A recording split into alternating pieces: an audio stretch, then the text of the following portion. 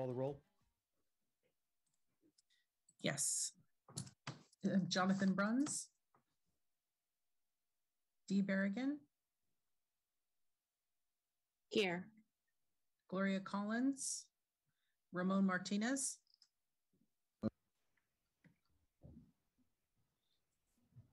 Andrew Ditlevson, Yes. They call my name. Freddie Sidbury, Here. Sylvia Alvarez, Here. BJ Fatum, Here. Lenka Wright.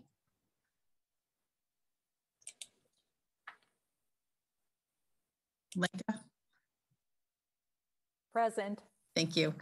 And Adina Present. and Fred Buzo. Here, Thank you. We have a quorum. great. Uh, So the clerk will now play a brief video detailing how members of the public may access interpretive services.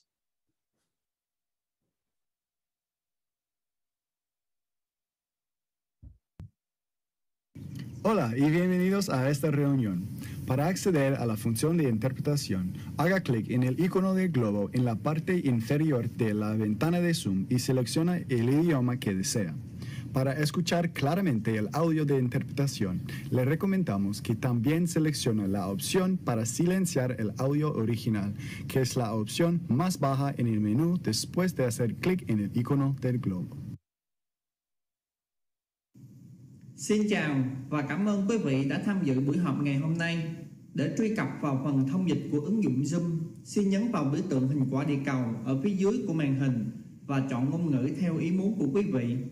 Để nghe rõ lời phiên dịch, chúng tôi khuyến khích quý vị chọn chức năng tắt âm thanh gốc nằm ở phía cuối trong phần tùy chọn của biểu tượng quả địa cầu.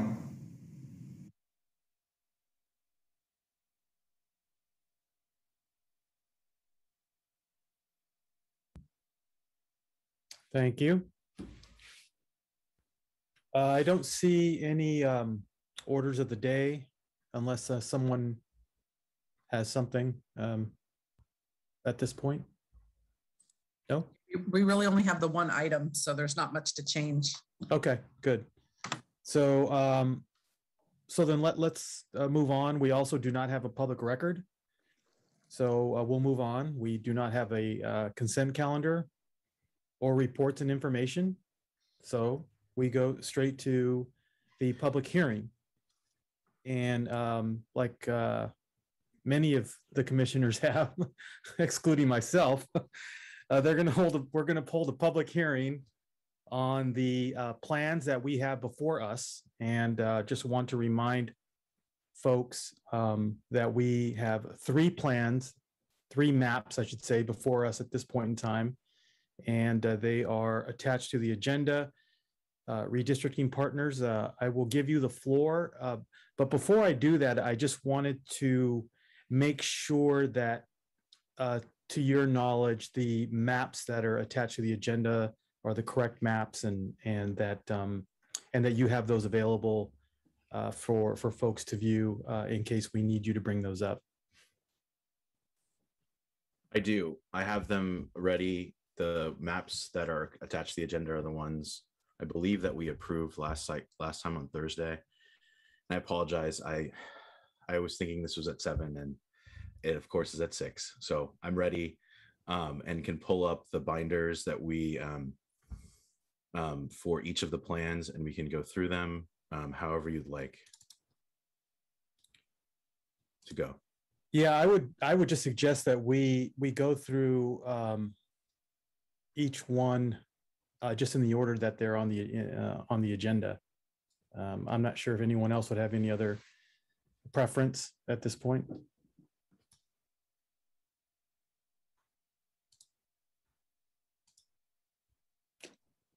No.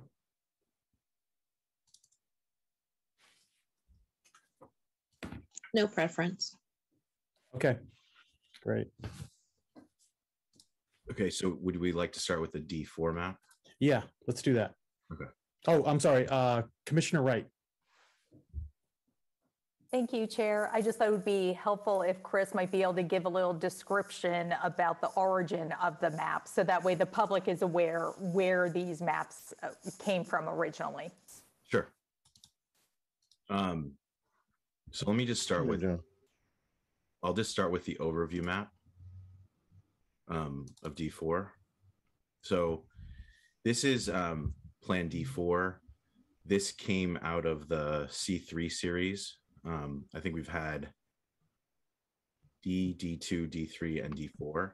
And so this is a map that um, we've come to each, the end of each um, evening to um, to move move lines within the, between the districts based on community and community input and from commission driven um, discussions.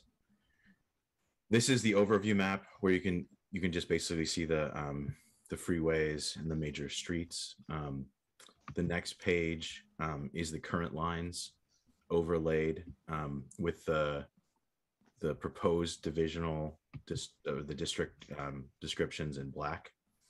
Um, and so I think I'll just go through them kind of from a current lines to current to, to this draft. You can see that um, districts district one doesn't change very much at all. Um, district two, you can see has picked up part of the Coyote Valley area that was in district eight. District three in this configuration has lost population um, at the southern at its southern border to district six and seven for population equality because we remember as we remember d3 and d4 um, both were the two most overpopulated districts in their current configurations so d4 also lost population um, or district 4 excuse me um, you can see though that as we did last time um, Penitencia Creek and Berryessa are all whole within District 4. District 5 has um, pretty much picked up part of um, the north, the southern portion of District 4, but it's picked up from District 8, the Ocala neighborhood. Um, District 6 is, is in a similar configuration, but it has, um, District 9 has moved a little bit north to incorporate um, or sorry, District 6 has moved a little bit south to incorporate northern part of District 9. It has also moved out and in the last change, taken in um, um, um, the Mastic neighborhood. I'm can't remember its full name. I'm sorry. Uh, Goodyear, Goodyear. Mastic. Thank you. Um, District 7 as well has picked up a little bit of District 3 because again, District 3 was overpopulated. District 8 um, is is very um, close to its current lines, but has um, picked up a little bit of District Seven. Nine has picked up the Communications Hill portion. Um, no, no, that's in ten. I'm sorry, Communications Hill is in ten, and in nine you see it's picked up a little bit of six for population equality. Um, you can see this is the um, neighborhood overlays we do split some neighborhoods, but we've been very, um, I think, very good at um, focusing in on neighborhood splits and trying to unify them in one district or another. We spent a lot of time um, last time on Thursday focusing focusing in on um, the district six, seven, nine um, areas, and also again unifying Penitencia Creek um, neighborhood into District Four the next plan um, is it do you want to do unity next or the community 3.0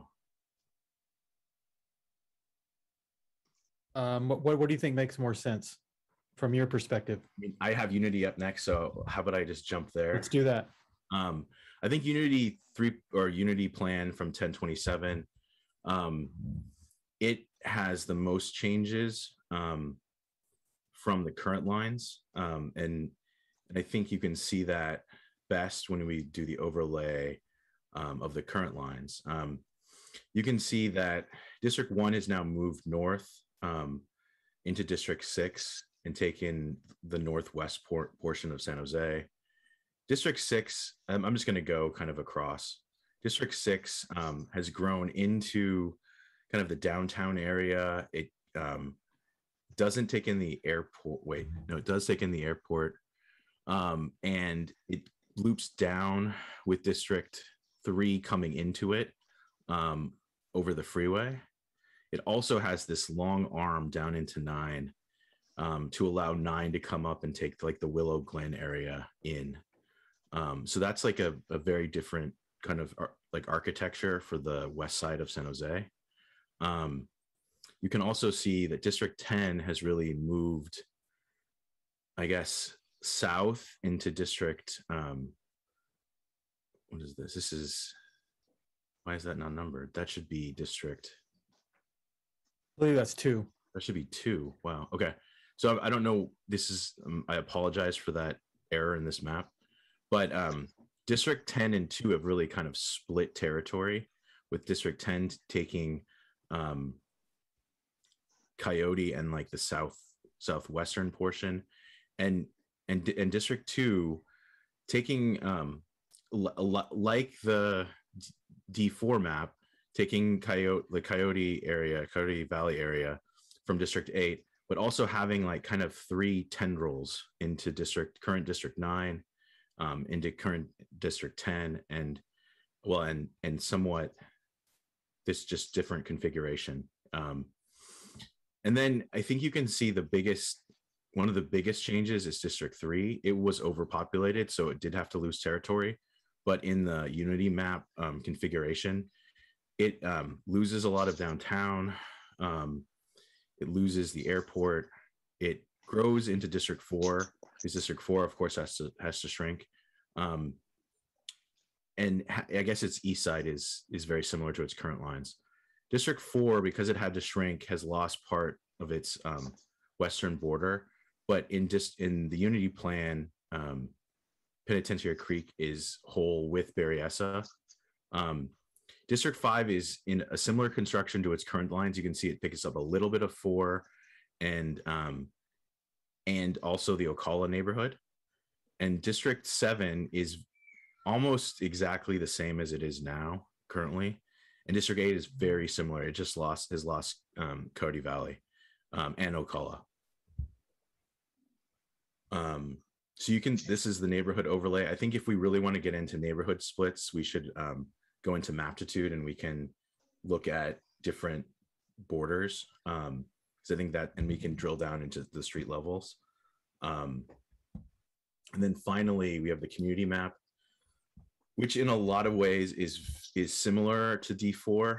Um, I'll try to point out some of the differences. Um, you can see that um, Penitencia Creek is whole, but they've they've taken it and they've made it made the Penitencia um, border the the floor of District Four and moved District Three a little bit more into um, into District Four.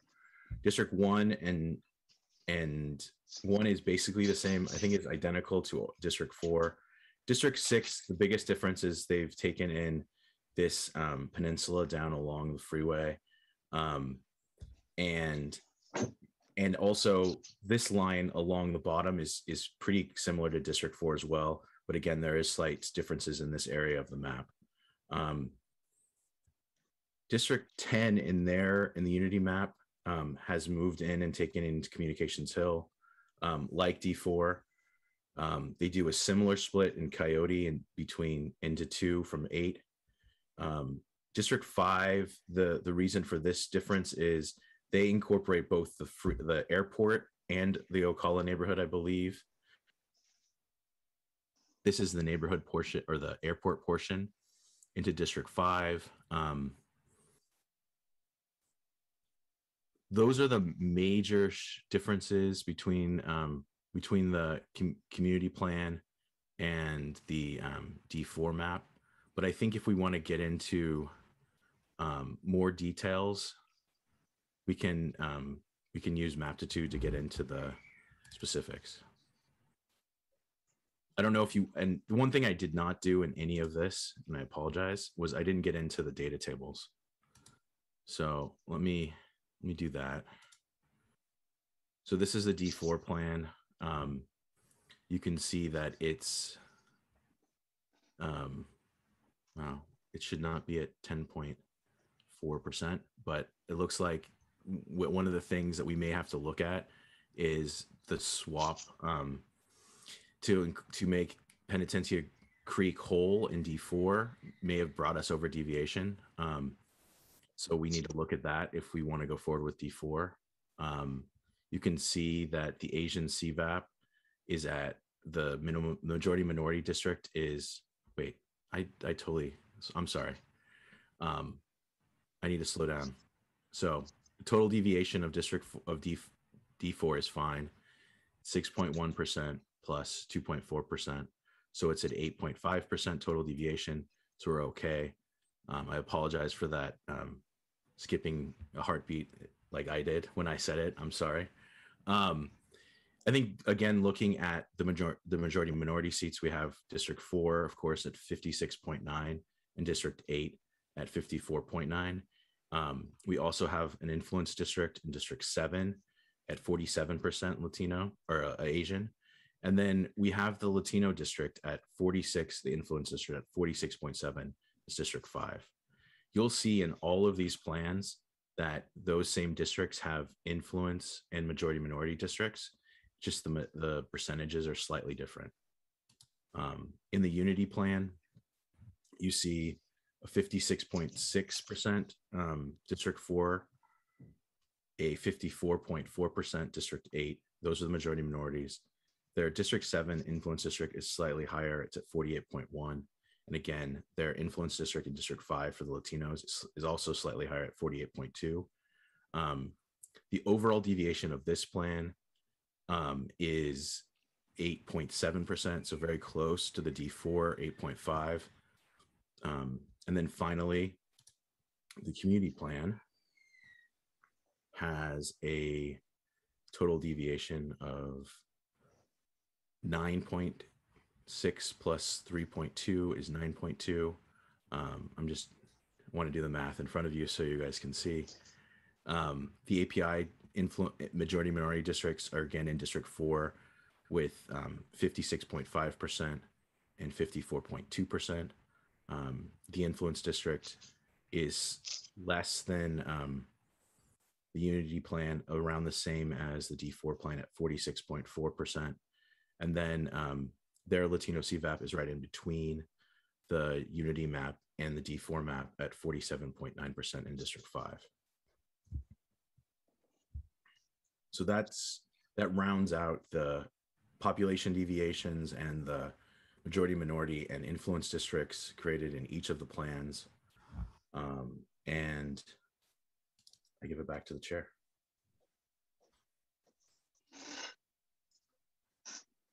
All right. Thank you, uh, Chris. D- Does anyone have any, any clarifying questions before we move forward? I, I, I had, uh, I had one at least, Chris, if I could. Of course. On, on the community map, if you could, if you could bring that up again.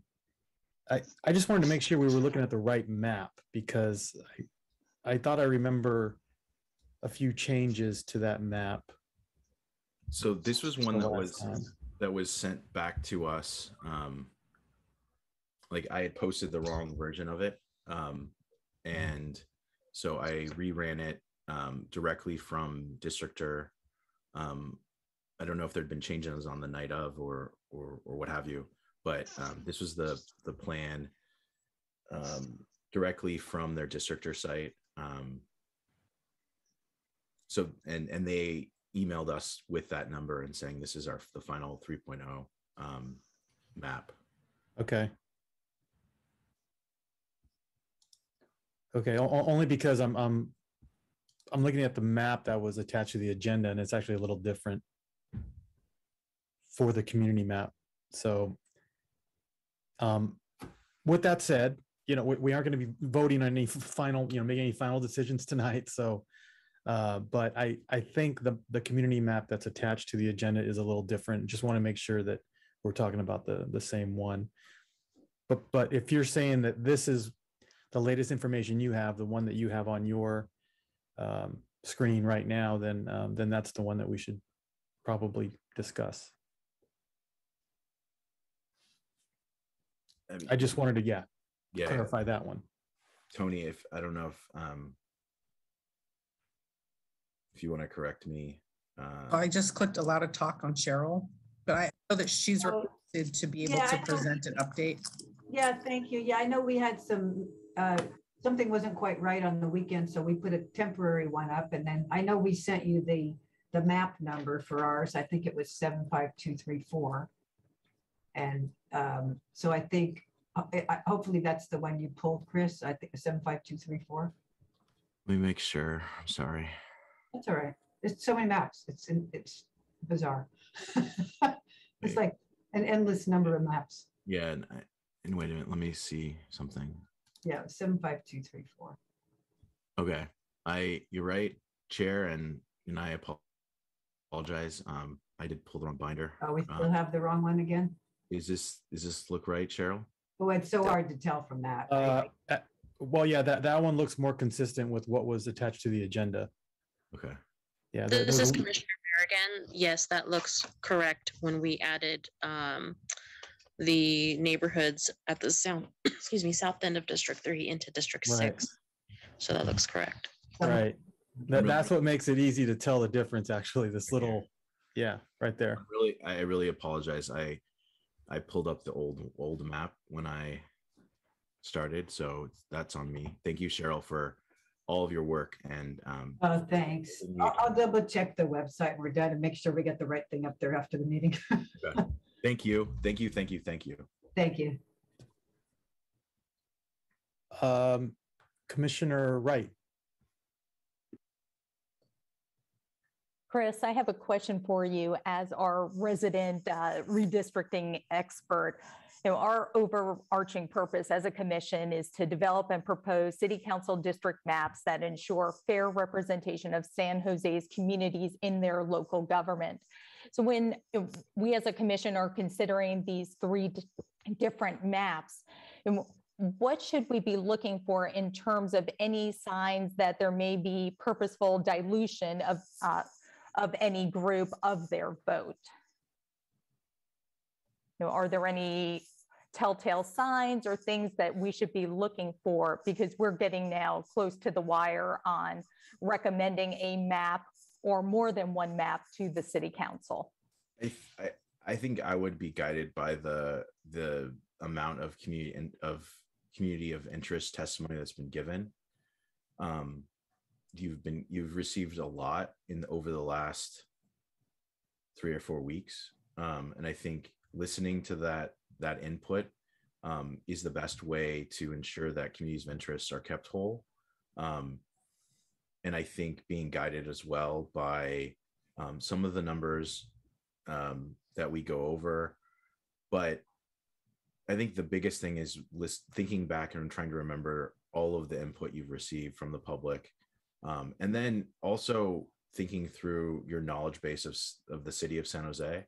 You've all lived and worked and um, in the city, and you've been appointed um, by you've been appointed to basically be a representative as, of your district. So thinking through the community of interest testimony, your knowledge base, the district that you're representing, um, I think that's the balancing act that you have to go through um, to make the best recommendations, I guess, on changing maps and then recommending maps to the city council. Um, that's what I would, I think, be be focused on um, as you as you go forward. Thank you, Chris, for that, because in- for the district that I'm representing, District 10, I get a little concerned when I see very different uh, lines being drawn in the unity map, uh, which from the testimony we've received from those who are uh, current residents of District 10, as well as even from nearby districts who have concerns about some of the changes in the lines being drawn, that I am trying to pay very close attention of keeping these communities of interest together. Uh, So thank you for your comments tonight, Chris. Commissioner Sidbury,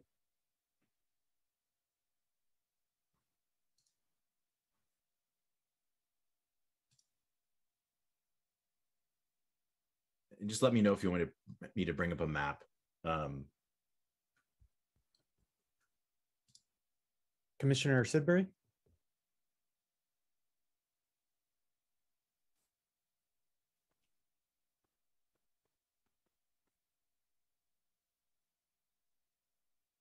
Okay, uh, we'll move on to uh, Commissioner uh, uh, Ditlevson.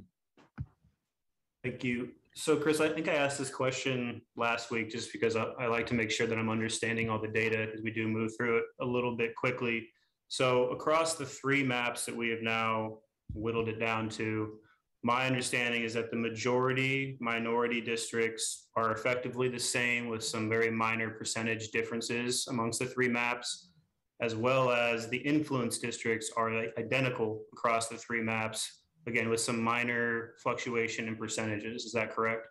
Yeah, the, the- influence- districts and the majority minority district are the same numbers um, in all three plans.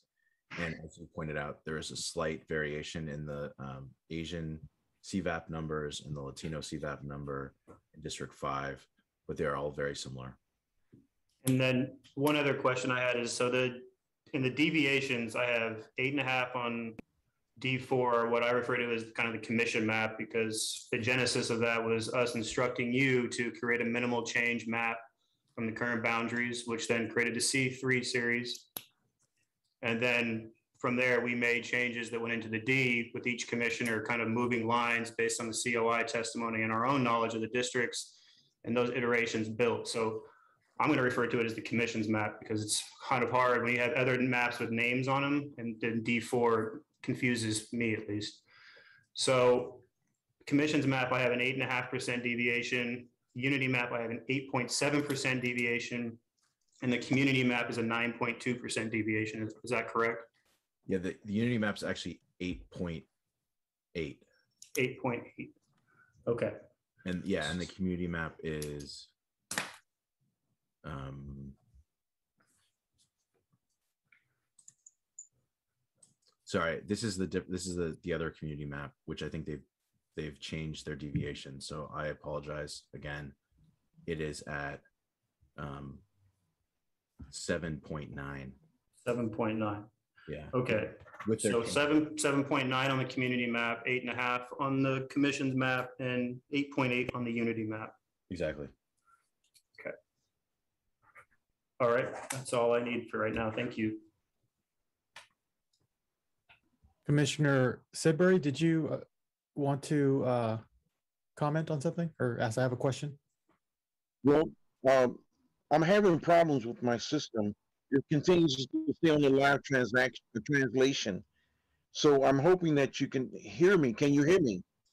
Yes, we can. Okay, um, maybe I have to log back out. I'm sorry and, and come back in because I'm getting Chris some English Chris and and some English from you, but then it goes back to, to live translation and I guess that's Vietnamese.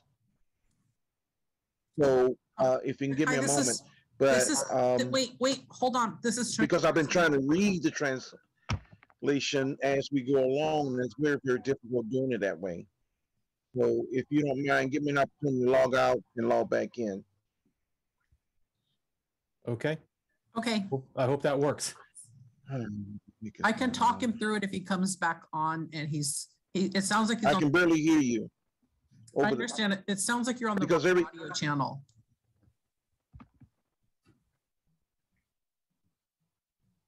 I'm gonna email Freddie. Okay.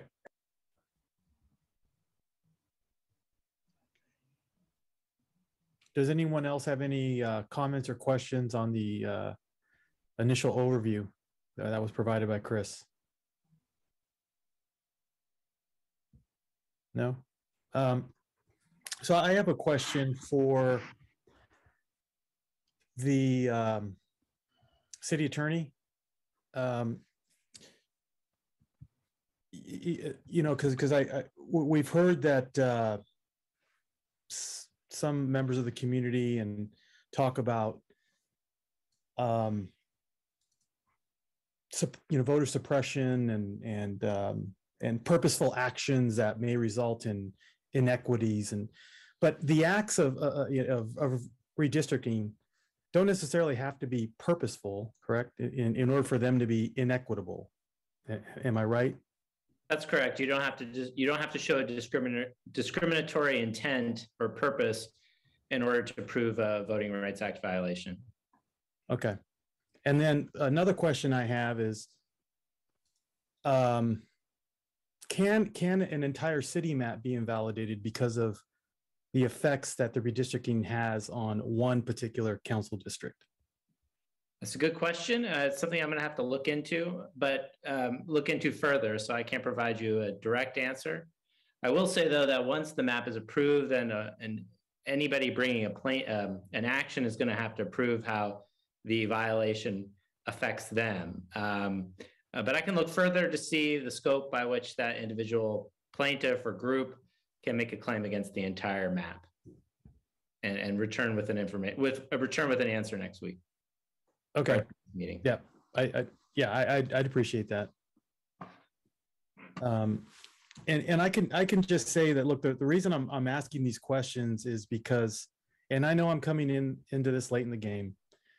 But just to be real honest with you, I, I am, I am very concerned with what's going on on the southern end of District Three.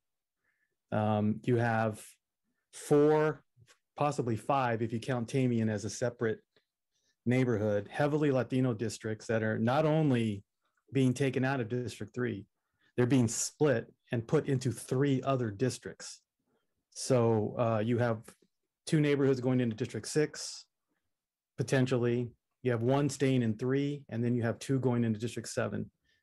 And I, I'm concerned about that. That that you have uh, this sort of group of neighborhoods that are heavily Latino that would um, that whose you know political power uh, potentially could be you know diluted by moving them into three separate districts.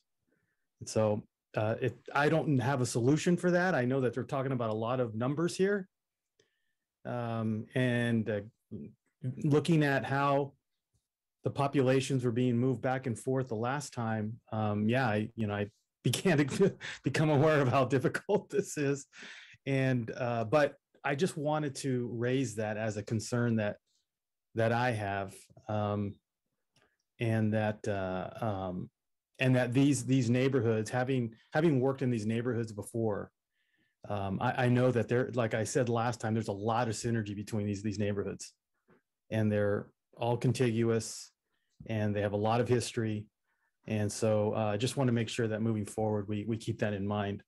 Um, as we you know continue to to uh, develop the maps.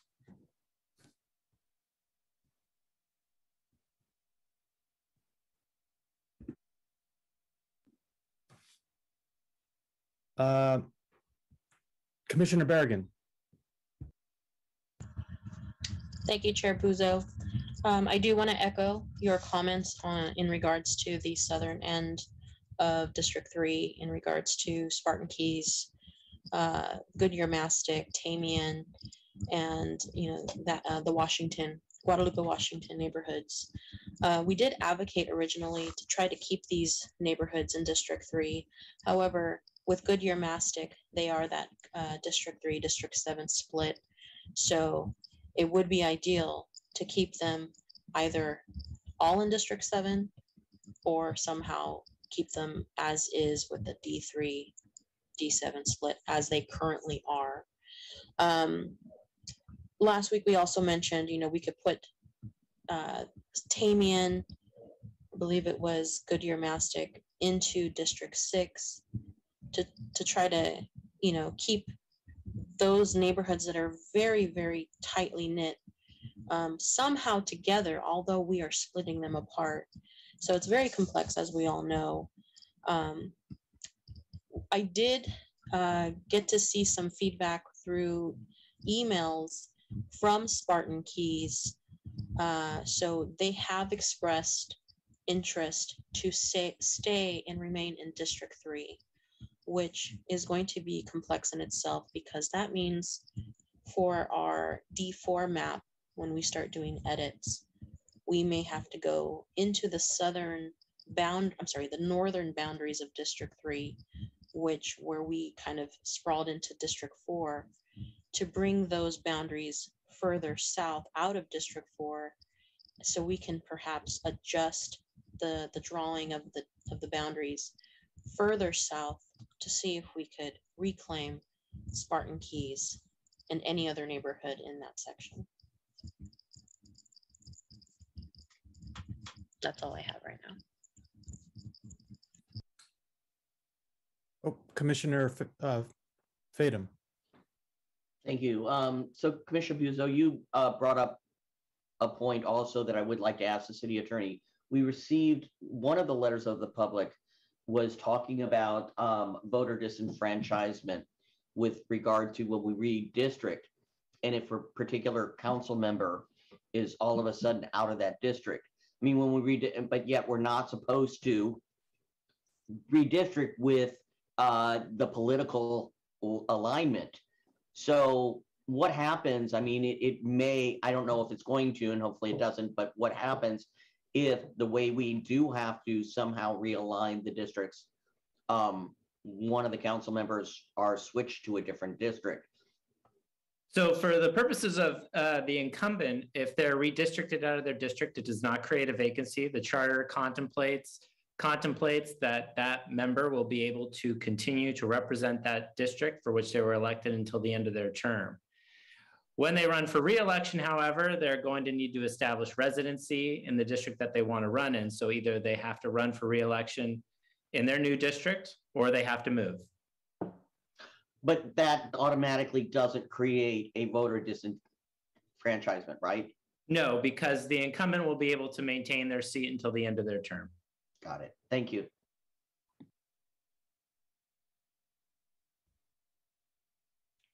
Commissioner Berrigan, did you have another comment or is that an old hand? Sorry, old hand, pretty much. Okay, no problem. Commissioner Sidbury, can you hear us now?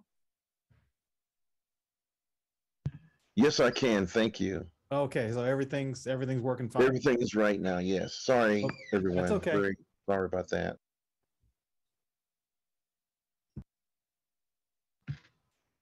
Yes, you can continue, um, Mr. Rizzo. Okay, thank you.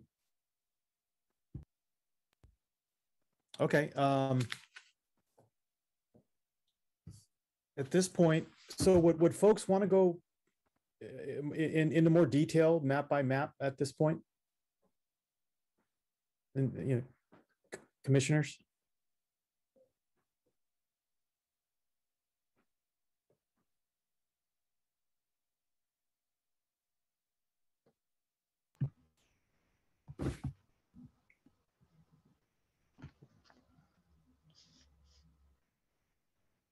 Okay, Buzo, are you asking if you would like us to start uh, looking at the maps and redrawing lines?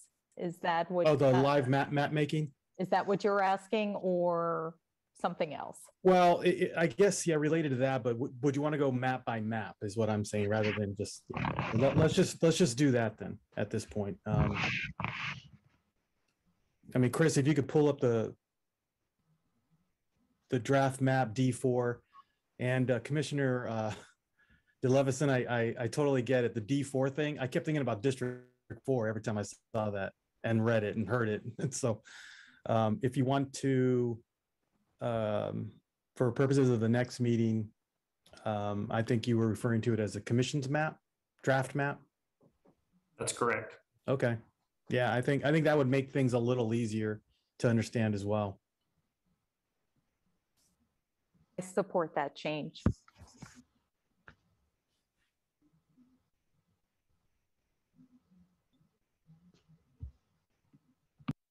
This is the D4 map um, where we left it, what left off on Thursday, um, and is the PDF. Same as the PDF version you have. Um, I don't know how we want to start.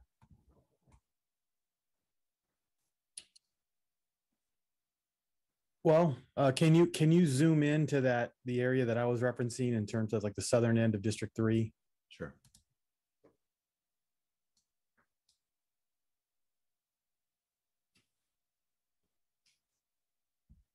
So you can see that it uses the 680, 280 s- freeway as much of the um, border between three and seven, and then drops to Willow Street to include Guadalupe, Washington into District Three. Mhm. And then uh, Gardner was formerly in District Three as well. Is that, that's right? Yeah, let me Sure. on the the current lines. So one of the one of the well, it was split. Oh, It was split kind of one third, Hmm. two thirds, eh, roughly. Um, yeah. D into D six and D three, um, and you can see that the line.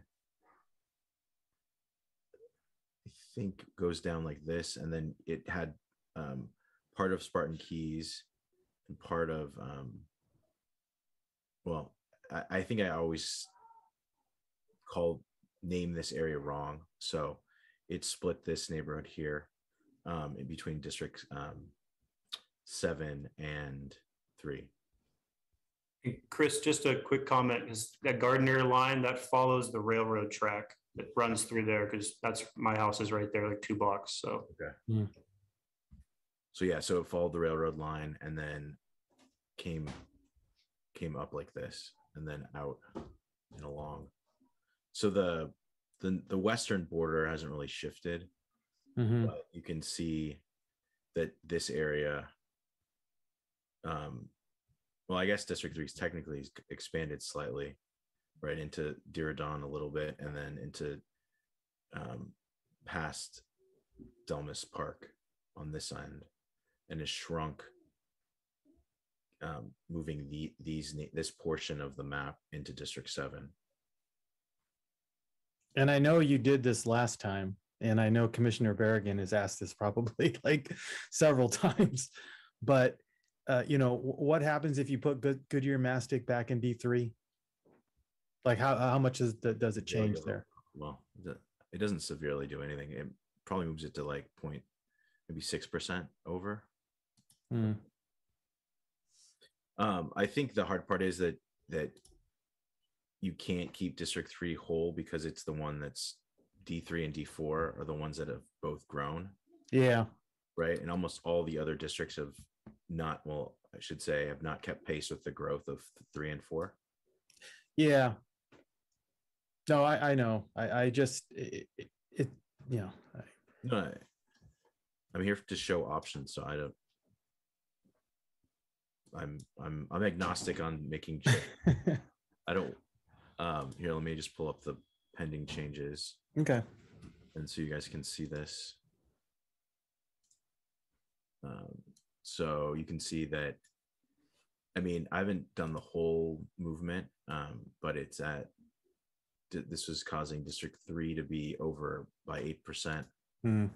um, and District Seven to be under by over six. Okay. So I mean, you you can always make this change, but it also then would require, you know, a shift. I mean, the easiest shift would be having District Seven go north into District Three and pick up different neighborhoods Mhm. a swap. But you can also do a rotation where District Three comes in this way, District Seven pulls from the east, and you do a rotation around. But this this change would make all District Three almost over by eight nine percent, and District Six would be under by seven percent. Got it. Yeah, it's a pretty dense dense area there. Yeah. Okay.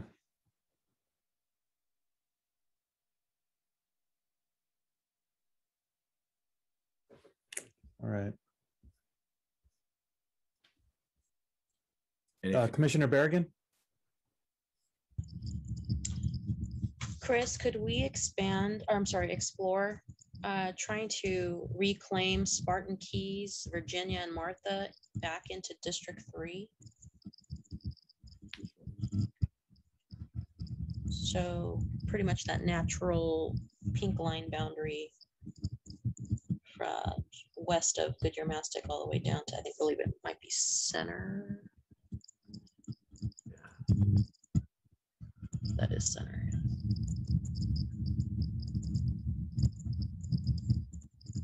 so this is gonna make seven would make three even more overpopulated than if we just did Goodyear Mastic.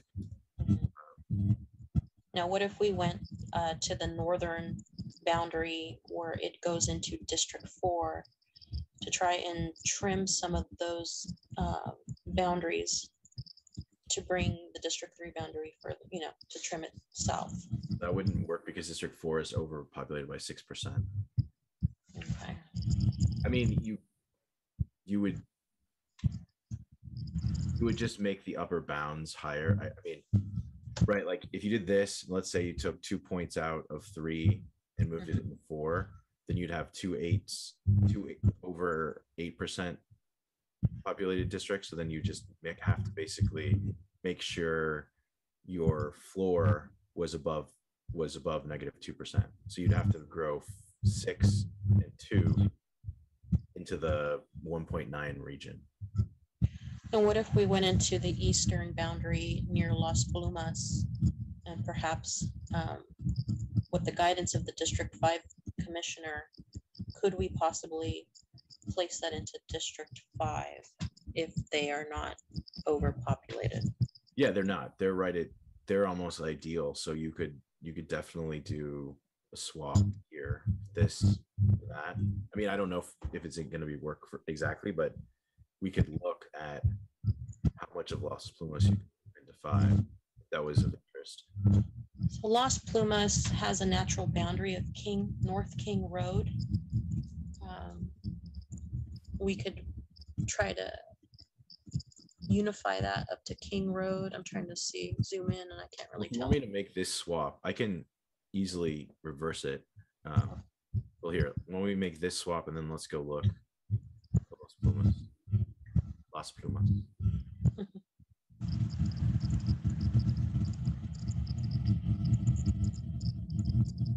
So, yeah, to like to this here to King. So King down to McKee and north to Marbury. Okay. Las Plumas has a, a two sections. So you have an industrial section to the west and a residential a section to the east. Right. So this is the residential here. Correct.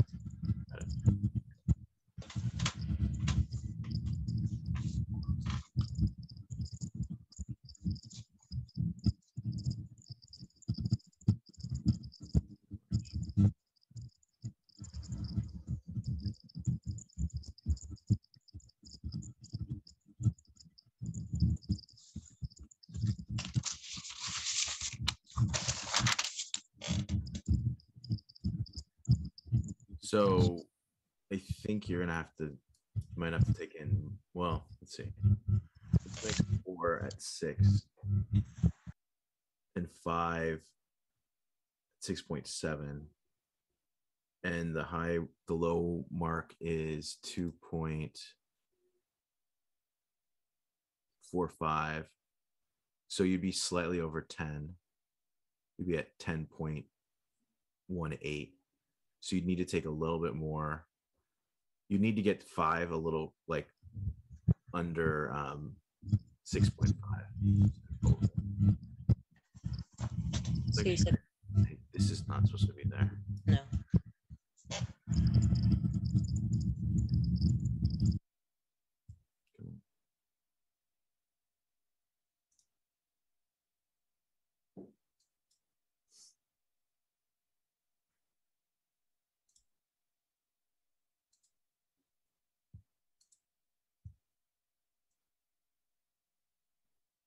So I think you'd want to.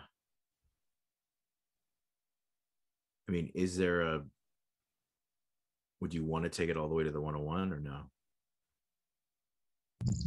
Can we zoom in on that? I want to see if we took Las Plumas to the 101. That's also industrial, but it's also mixed with Anne Darling neighborhood. Uh, and that's a tricky area too because that Anne Darling neighborhood is kind of it's a kind of like a cove, like it, it's there's really no outlets to that neighborhood other than the ins and outs of McKee. Good, so McKee's here. Yeah, so that that's its own kind of closed off neighborhood. It has the creek right there, and then like of course the freeway. Right in back of Van Darling, we have apartments. And mixed industrial. If you, you would feel like that uh, area from, let's see, what is that street? We have Silver Creek. That could be a natural boundary because that's pretty much where that neighborhood is cut off by the creek there. It's all uh, So make sure to include this to McKee. like, correct. That's the elementary school right above there, next to the freeway. Yeah, So, wait. So I'm, I'm sorry, I'm, I'm not guiding you here. We actually need to, um, we need to take less. Less. Populated by, um, more than six percent, so we need to get to six point. Here, Sorry, let me do this again. Need to take a little bit less because we, we're adding too much right? Because like it should be at six point five, and with this addition, it's at six point seven or six seven. okay. Yeah, I don't, uh, I don't know. Like that would be non-contiguous. You'd have some islands in here, but um, we, I don't know which side makes mo- the most sense. so this, the section just north of Overfelt Gardens, Independence High School in Jackson, that rectangle area, that's the school. Okay. That currently District Five, Yeah, this is District Five here. So the red would be adding. So, like, if you wanted to take in this portion, that would move five to six point three point nine percent over, which would be fine. District three would be come down to six point four percent. So you would be under um, the deviation. so if we, if we take that, um, those are also some resident, like uh, residential, but it's also newer apartments in the square that's just north of the red, all the way up to Marbury and east of King Road, that area there.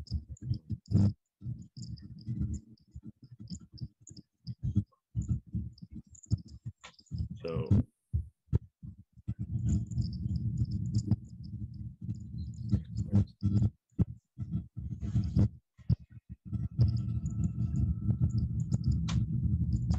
Sorry, that would be a total deviation of nine point eight percent, so you'd be, you'd be fine.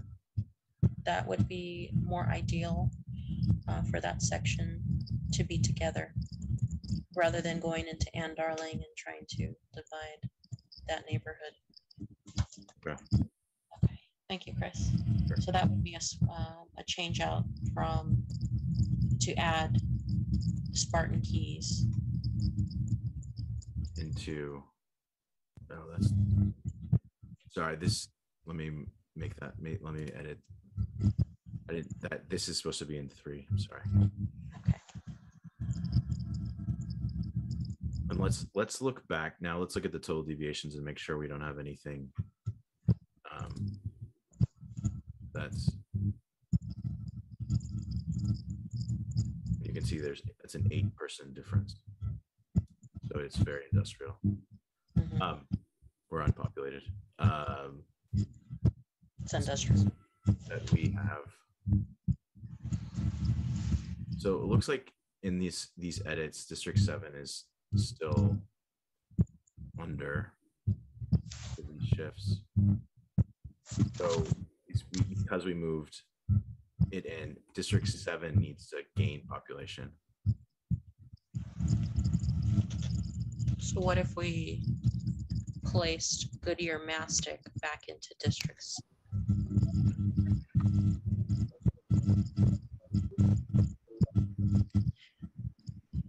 Turn that down so I can talk now.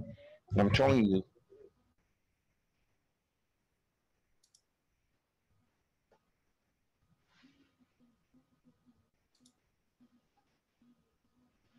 Wait, oh, into yeah, into seven. Pardon the interruption, Chris. I was going to say, before you do other movement or however you want to handle it, I want to see what the demographics what happens to the CVAP demographics with the changes, you know, that have been suggested so far? Sure. I'll make this swap and then we can do, we'll do exactly that. That, is that, is that okay? Or do you want to Yeah. know? Okay.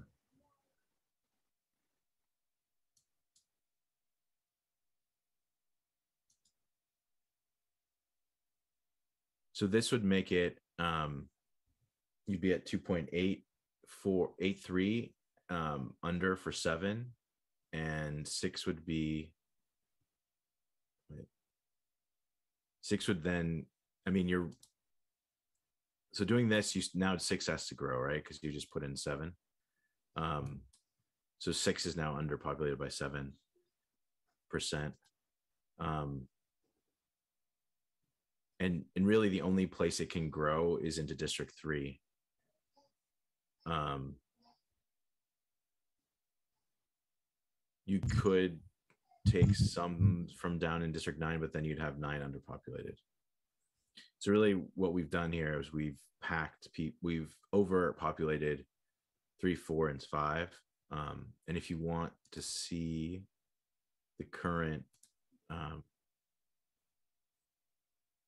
so district, um, district five. So I guess we were, we're looking at um, the major changes were in district five. You've got a 38% API CVAP, 2.4% African American, and a 45.75 um, Latino CVAP. This is still um, much lower than the unity number of 48.2. Um, and I think one of the one of the reasons is that District Five in um, the Unity Unity map um, is underpopulated by 3.6 percent. So, and you have it at the high water of the whole plan at 6.69 percent. So if yeah, so I, I think that's one of the issues with in this configuration, um, and the reason it doesn't line up as well as the Unity plan on the Latino CVAP numbers. And currently, we have the Gardner neighborhood entirely in District Six. Correct. Commissioner from District Six, do you have any recommendations to add to District Six? Um, I mean, the problem, the problem is, is that number, we can't grow into one, we can't grow into nine because of population issues, right? Now we can't grow into seven, so you can only grow into three. And three, we expanded actually into the Diridon area for what I think are legitimate purposes, given the contemplated development in that area. Um, and what I understand the general plan to be for that area and its connection to downtown. Um, so my, a lot of movement here, but the original thought I had thinking about the comments that the chair made originally was, okay, how do we not split them up into three? Um, and originally we had Goodyear Mastic in six, which is also what the Unity map and the community map had, I believe, or the Unity map did at one point. I'm not sure if it still does, but um, would be to simply put the Guadalupe, Washington area into six so that Gardner, Guadalupe, Washington, and the Goodyear Mastic all remain united within one district. Because six, as we originally had it in the commission's map, is still underpopulated by I think two and a half percent or thereabouts. So we could certainly absorb the density in Guadalupe, Washington, um, and not alter the metrics in a negative way in terms of deviation. Um, so, but outside of that, the only way to balance this would be to take part of three and put it into six. And we had to be very sensitive with that because we've had a lot of testimony about folks who live in the downtown area that have no relationship to District Six, and there is a natural boundary there with the railroad tracks. So that would be my only real suggestion. And I understand that may not be ideal because there's some change, but it does keep them together. um, as a single community of interest in one district. Uh, Commissioner uh, did Levson, uh, you, you were kind of breaking up, but you, when you talked about Diridon and like uh, why originally that went to, why, why the commission had placed it in District uh, Three. Yeah, um, let me, uh, I'll repeat myself. So that move, uh, it's a modest amount of population, obviously, because Oh, that is okay. all commercial. So it was like 750 people. And there was testimony that we received, both in writing and orally, that there is a synergy between downtown west, which is the Diridon Station area, and downtown, obviously. I mean, there's a demarcation with 87, but the idea and the general plan, my understanding, um, is that there's a there's a pedestrian flow that's going to be desired from Deardon into downtown, right? It's a feeder area into downtown through the Google Village, through the other developments that are going on even north of near Coleman. And so there's a certain, not to mention the fact that there is BART coming through allegedly, and um, that it would may be easier and people will share interest in those events if that section where BART is ultimately going to end up, for example, shares the same council member as downtown, um, where the train is supposed to come all the way through down Santa Clara Street. Um, not to mention the fact that there's business districts there. I mean, so that's that is really what was the impetus for moving that line basically into Diridon Station. Um, and so that was something I suggested and I asked for feedback from Commissioner Berrigan and she agreed. And so we made that change. Okay. Uh, Commissioner Martinez? I'm just waiting on looking at the demographics that that Anne Darling versus the the change up around Las Plumas makes uh, for for the district. Yeah, so I I have a sense that Darling is extremely Latino, and uh, I I have a feeling up higher into Las Plumas is probably not. But I don't know the numbers. That's why I'm asking Yes. for you to give me some information. So the changes into District Five that we we made, it actually dropped the Latino CVAP to forty five point seven five. In the original D four where we started, District Five had a Latino CVAP of forty six point seven, so it's moved it down a point.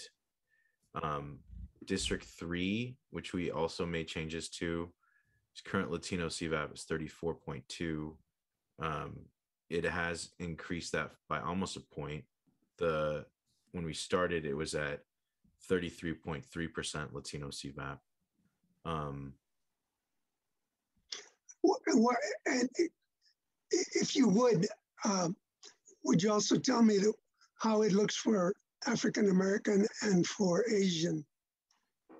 sure um the district 5 currently at 2.24 african american it was at 2.6% um, when we started.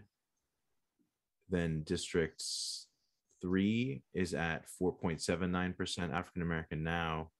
And when we started, it was at um, 5.1%.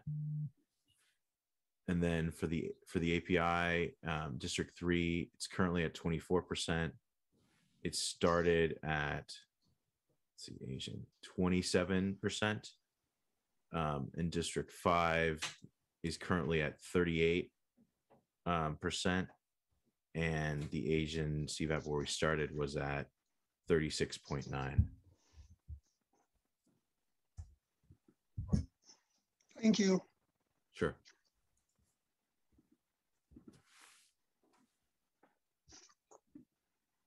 Commissioner Sidbury, I, I know you had your hand up earlier. Um, Did you have a comment or question? Well, no, I wanted to go back to um, Commissioner Martinez. That's I, I wanted to know the breakdown of the ethnicity of those districts that we're moving around.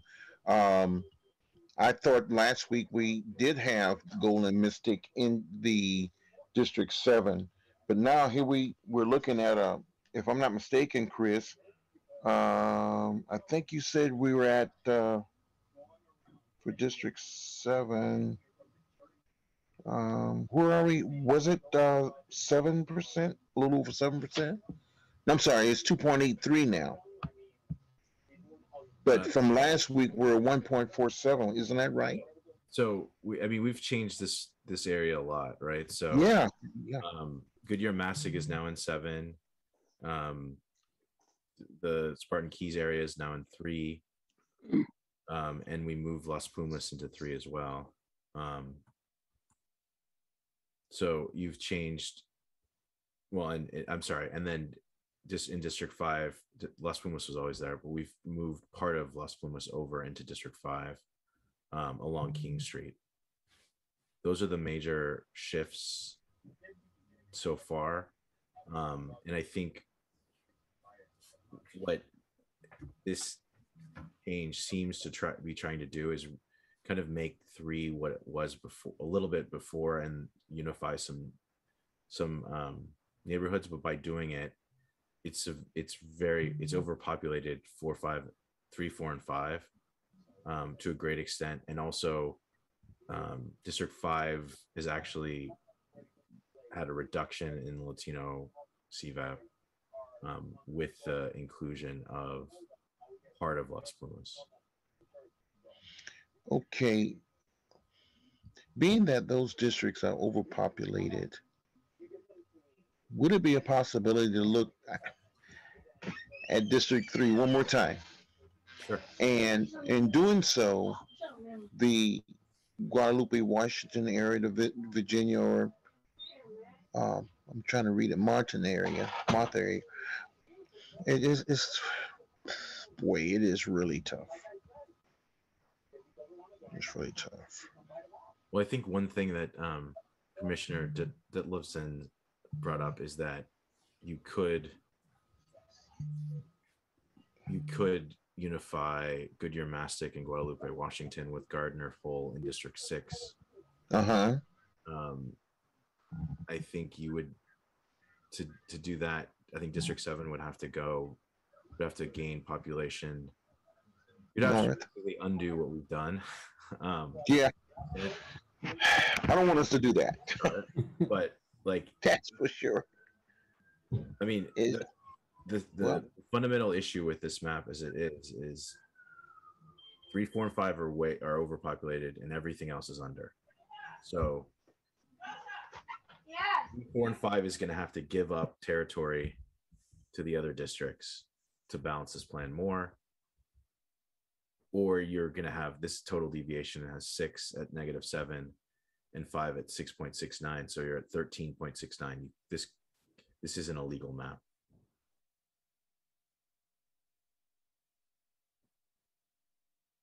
Hi, this is Commissioner Berrigan. So what if we kept Guadalupe, Washington in District Three, and then we make the Spartan Keyes neighborhood again back into District Seven?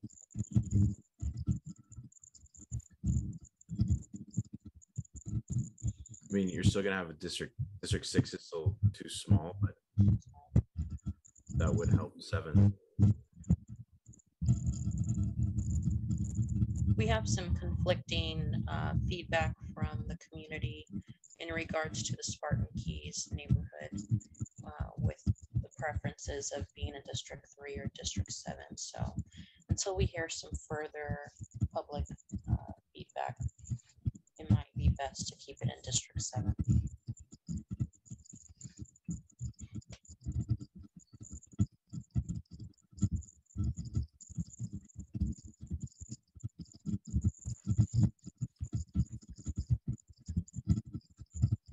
Okay, so this would um move seven to 3% over and 3 to 2%, 2.5% under. So it would help. It would basically swap districts, Okay. populations, but um, still need to come back to District 6.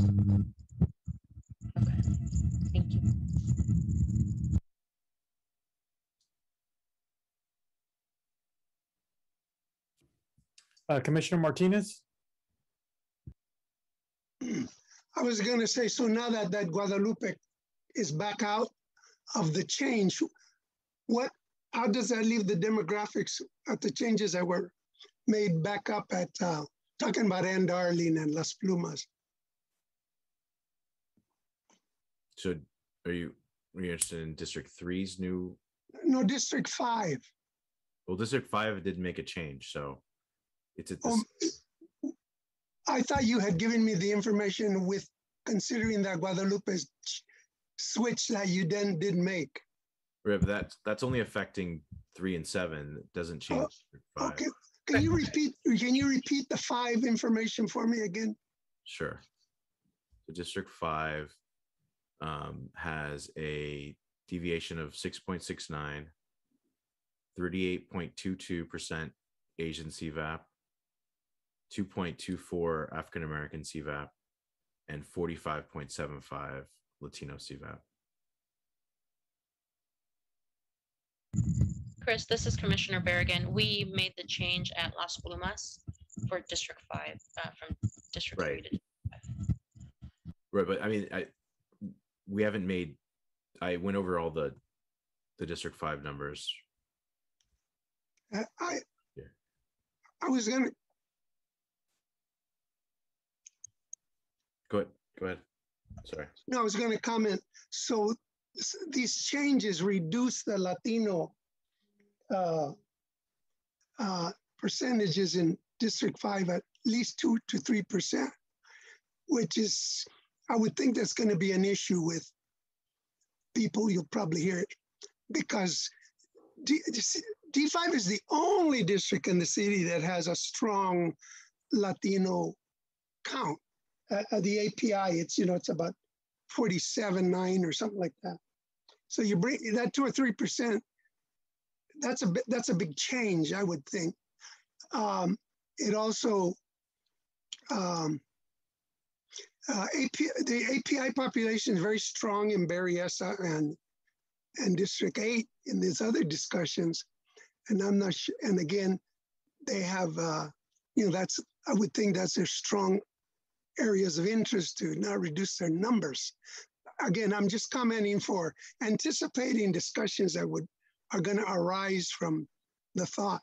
My, my basic thought though is that talking about the uh, and Darlene change only, that might actually, that, as I recall, the area is very Latino, the Anne Darling. I've been around the Anne Darling school in the past. And uh, that might not uh, make too much difference, just that area going in. But I have that other that other section you talked about high, up high. I don't think it's got that much Latino. I, I'll have to look later, but that that might be a good balance. You know, the Anne Darling switch. And uh, Sorry, I don't. I'm. I don't know. You mean up here? No, no, the Anne Darling area, you know, it, uh, Commissioner Barragan talked about the Anne Darling area going into five, right? In in the proposal.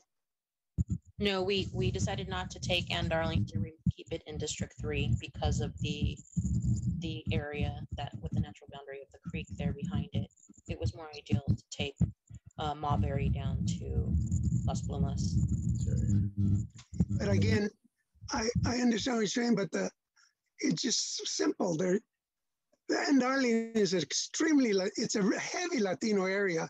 It quite relates to D5. I mean, it, it could. So that's all I'm saying. Because this issue is going to arise. I, I'm just anticipating discussion later.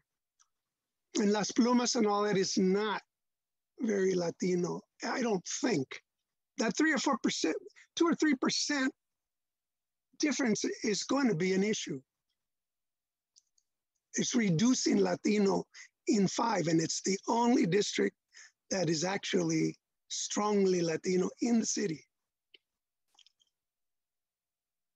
API wise. Anyway, that's for discussion. Yes, I do want to echo Commissioner Martinez's concern um, because as we play around with these lines, I do notice that the Latino CVAP percentage keeps going down for um, in District 3 and District 5. And based on my notes, the, the current Latino CVAP percentage, um, as the lines are drawn today, District 3 is at 36.5% and District 5 is at 48 0.5%.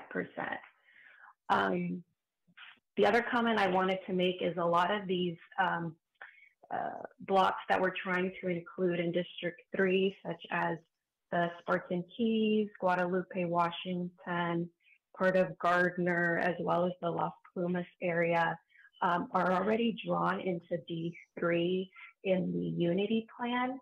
Um, so my suggestion would be if these are important to keep in D3 that um, we can perhaps work with the Unity plan as well tonight. Hey, so can I just uh, interject something here real quick? Um, we have uh, four folks who want to uh, present maps, and um, oh, there are three now, not not four. Uh, but what I was going to ask, and I was going to suggest, is that if there are folks who have presented maps previously, that they only present on what has changed um, from their previous presentation.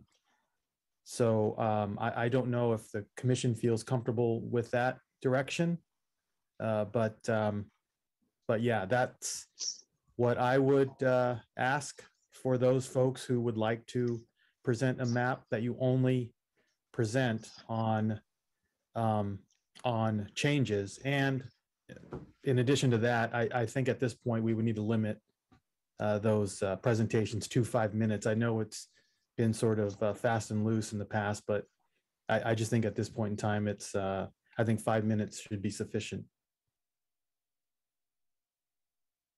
This is Commissioner Ditlipson. I would second that if, that if that's a motion.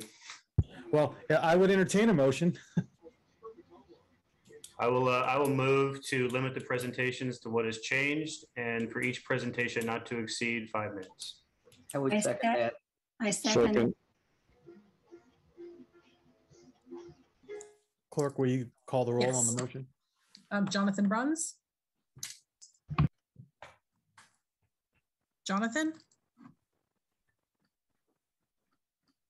I don't see his name here. He may have dropped off. Dee Berrigan? Yes. Gloria is absent. Oh yeah, Jonathan's absent. Ramon? Yes. Andrew? Yes. Freddie? Yes. Sylvia? Yes. Sylvia? Yes. BJ? Yes. Lenka? Yes. And Adina? Yes. And Fred? Yes. Okay, so I have three new presenters. Um, and then Cheryl wanted to talk about their update and um, Jeffrey Buchanan is also here um, for, I'm not sure if he has updates to the Unity map or just wanted to talk about it. So would you like me to start with the three brand new presentations? Yes. Okay, so I'm gonna let, um, Megan's not here, so I'm by myself. Um, So it might take me slightly longer. Because there's only, so I'm bringing in, um, Todd and Marissa first, so they can start. And I'll bring in the other people.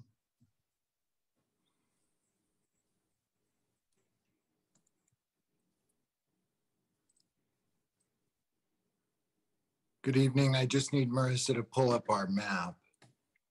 Yep, I am here. Let me pull it up.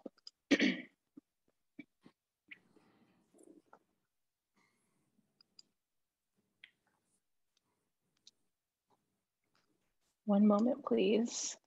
There.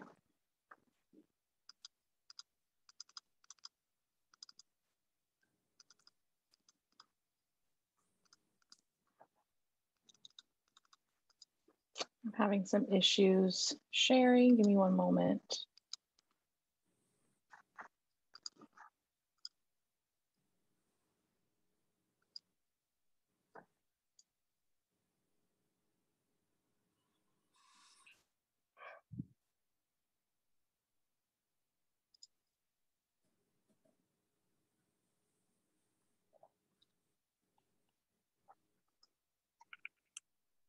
Can, are we able to go to someone else first? I'm having issues with the security setting on my computer to share my Yeah. screen.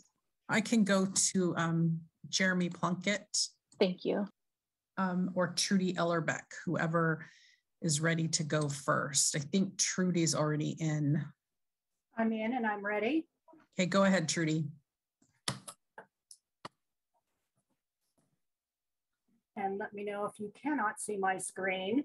But thank you this evening. I'm Trudy from the board of the Mount Pleasant Neighborhood Association. Our singular purpose tonight, again, is to ensure that the boundaries that define our neighborhood remain intact. So many of our neighbors inside and outside our boundaries have availed themselves of the community that we offer.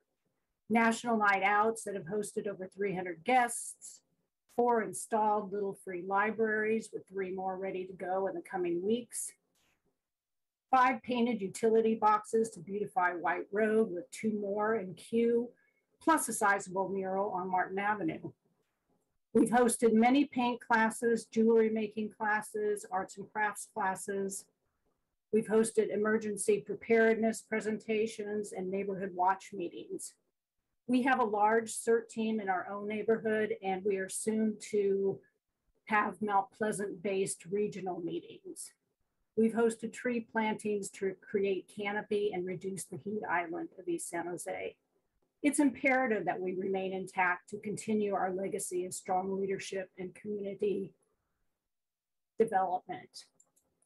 I want to share with you the boundaries of our neighborhood. On the north is Mount Vista Drive. On the west is South White Road. On the, excuse me, on the west is South White Road. On the south is Martin Avenue, which goes up to Clayton Road. And we have an arm that's up Squarey Drive here. We became alarmed when we saw a couple of maps. This is the D4 map as it appears uh, most recently. We were concerned that this area of Mount Pleasant was shaded differently than this area and this area. So we just want to reiterate that this is our neighborhood, these three X's, and we do not want those to be fragmented.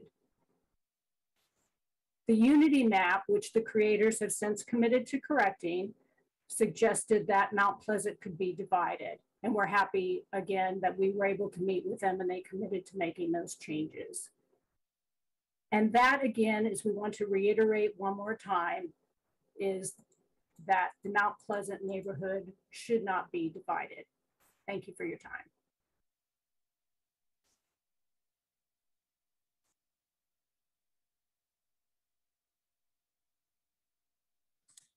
Did you want to go to the next presentation?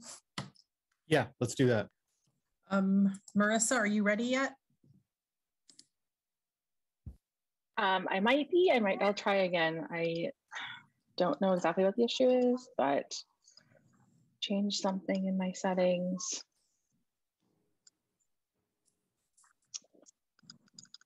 Yeah, let's go to the next one. Give me a few more minutes. Jeremy? Still not working. Thank you. Yes, hello. Hello. I'd like to uh, share my screen. Um, Sorry, um, share screen. There we go.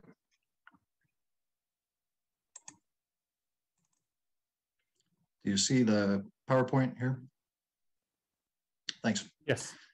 So the concern I, I'm uh, calling in to raise this evening is uh, something that I think is important to the process and for everyone to be aware of. And I just, it's uh, something I haven't heard anyone discuss in the, the entire time here. Uh, this is a key bit if anyone wants to take a screenshot.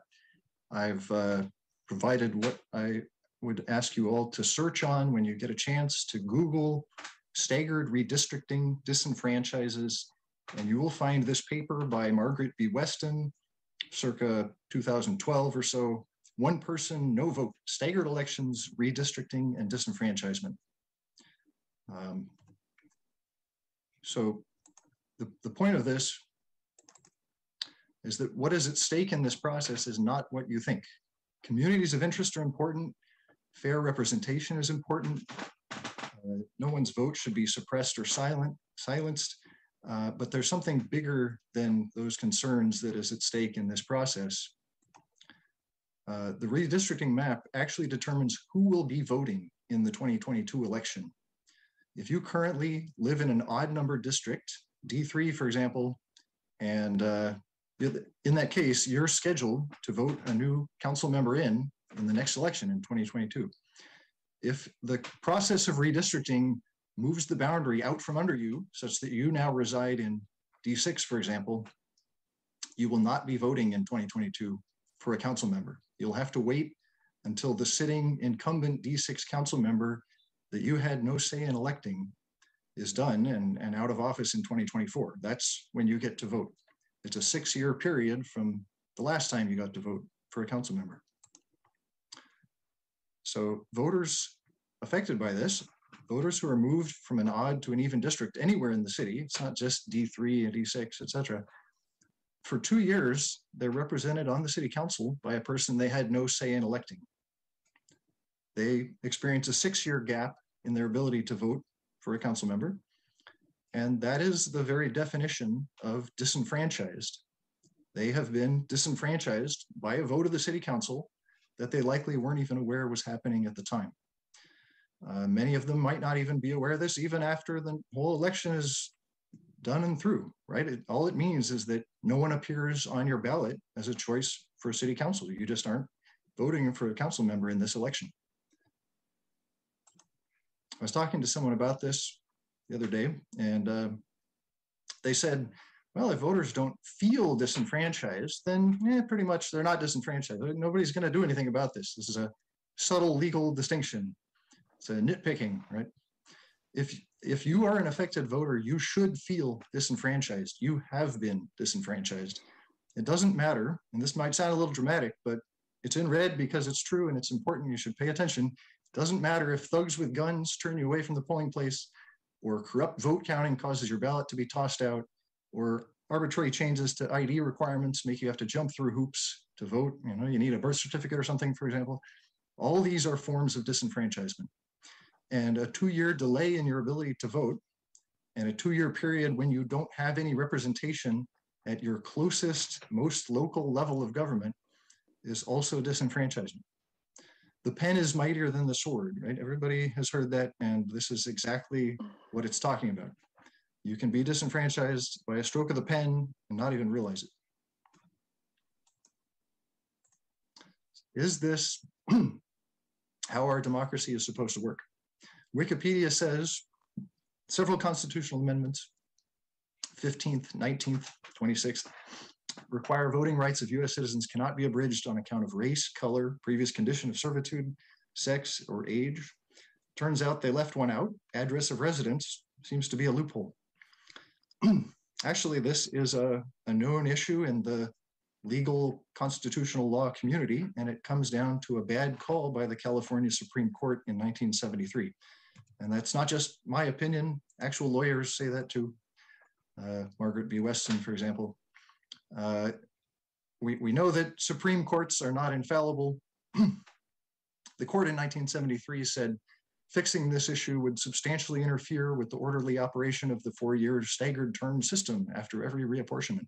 So basically they said, ah, we know it's not great, but it's, it's too inconvenient to deal with it. The uh, convenience of administering elections overrides the harm of voters getting disenfranchised. Mr. Plunkett, we, um, we're giving uh, folks with new presentations uh, of five minutes and we've gone Okay. over five minutes. Just wanted to know if you could wrap it up. Yeah, okay. I've emailed this to all the uh, commissioners, so you can, you can look at the slides here. I'm just asking to contact your council member. They're the ones who actually make the vote on this. Let them know that this is a real issue that's important to you and your neighbors. And uh, it's not too late to fix this. I put together a map in 20 minutes, the one I submitted uh, this morning, that actually minimizes the number of uh, voters who are affected by this issue it's not a perfect map. I did it real quick. I'm not the experts, and I believe the experts, uh, the, the neighborhood volunteers and the other people that have submitted maps can take this into account and they can fix this. And I would ask you commissioners to ask your consultant to use his software to give you this data. He, he has the software that can show exactly which voters are affected for each map, how many voters are being disenfranchised, and it's something that the council should know when they eventually vote on this. Thank you, Mr. Plunkett. Okay, you're welcome. Thank you.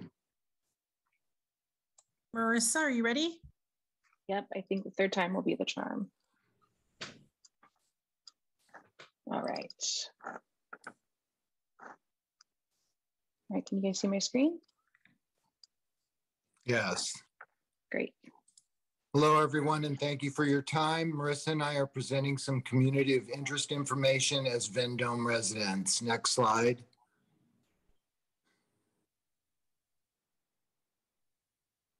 This map shows the outline of the Vendome. It's a very small neighborhood, approximately only nine blocks long from Taylor Street to Ryland Bassett Street and only two blocks wide from 87 Freeway to North First. It is mainly the former property of the Vendome Hotel and includes apartment complexes, two condominium complexes, and many historic homes and duplexes. The next three maps are all from a similar vantage point for easy comparison. Next slide, please. You can see the Vendome in this area. We selected this map because it shows the topography. On the west side is the 87 freeway, the Guadalupe River, the Guadalupe Park, a shopping plaza, and a railroad, and the airport's over there. These natural and artificial boundaries separate us from the Rose Garden, Willow Glen, and District 6. On the north side are the old county buildings, including the county jail, a tiny home village, and another upcoming project for the unhoused in the police parking lot. On the east side is the North First Street Urban Transit Village, which is in the final planning stages. The Japantown Ayer Light Rail stop the second stop from Santa Clara Street, and our adjacent neighborhoods of Hensley and Japantown. A picture is worth a thousand words. This illustrates the unique placement of our neighborhood, including the natural boundaries, separation from D6, and our close proximity to the downtown. Next slide, please. This shows the Vendome placement with the Unity map. I'm, the Vendome is outlined. I'm not sure about this inclusion of this little piece as our eastern boundary is actually north first. It clearly shows the Vendome carved out from the downtown into another district.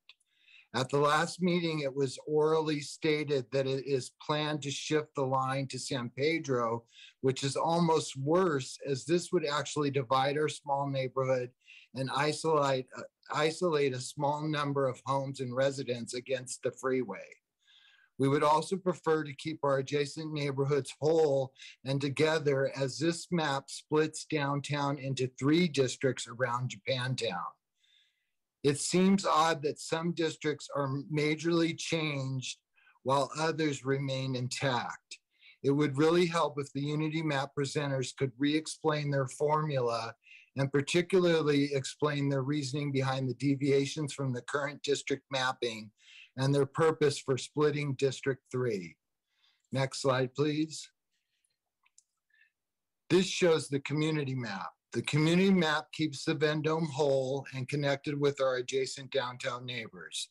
While it is somewhat similar to the redistricting partners map, the community map was created from a grassroots neighborhood effort and has tried to reach out to the various neighborhood associations and residents for input and complies with the redistricting guidelines. We find the community map to be the fairest, best option for our neighborhood and the city. Next slide. These are some bullet points. We engage regularly with representatives from Northside, Hyde Park, Japantown, Hensley, and other downtown neighborhoods on various city government and neighborhood concerns, objectives, improve, and improvements. Downtown development, the airport and its development, the Guadalupe River Park in general with the associated unhoused situation, and the urban transit village all greatly impact ours and the surrounding neighborhoods. We also share a love of preserving our city's history through architecture and renovation of historic homes and have generally formed a community within our adjacent nearby neighborhoods. Please keep the Vendome and downtown within District 3. Next slide. Thank you again for all your time and all your hard work. Thank you. Thank you, Mr. Williams, and uh, thank you, uh, Marissa. And Jeffrey Buchanan and Cheryl are here for the Unity and Community Maps. Um, I can, I can let them over as panelists, or we can just allow them to speak to answer questions. Uh, I think we could uh, allow them, unless there, there, are- if there are changes to their maps from last week, then um, they could speak to that as well. But uh, at this point, I would, I would think, uh, you know, we could just ask questions too. Okay, let me unmute Sh- um, Cheryl first.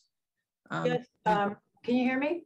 Yes. I would like to present the changes to my map, please. Okay. Okay, do I have, okay, join this panelist, there we go. Let me get my, okay, I gotta get my presentation up, hang on a second. Share, okay, can you guys see my slideshow here? Let me see, hang on a second, slideshow. Yeah. Hang on a second. Okay, so this community map, I guess we'll call it 4.0. Um, So what I have to say is, here's the community map 4.0 that we're presenting. It looks, um, it, basically the highest number for population is 105,000. The highest deviation is 3.91. The overall deviation is um, 6.97. Then I will get to, let me see, here's an overlay from the current D4 map to ours. So there's a few changes over here and over here. Okay. Um, the it reduces compared to the D4 map, it reduces overall deviation by 1.4, reduces highest population from 107 to 105, keeps five completely intact uh, while adding from four, keeps Reid Hillview where it's supposed to be. Uh, it also follows the guidance from the District 3 Commissioner to expand the Alma area and it keeps uh, Dove Hill and Ocala in their current districts.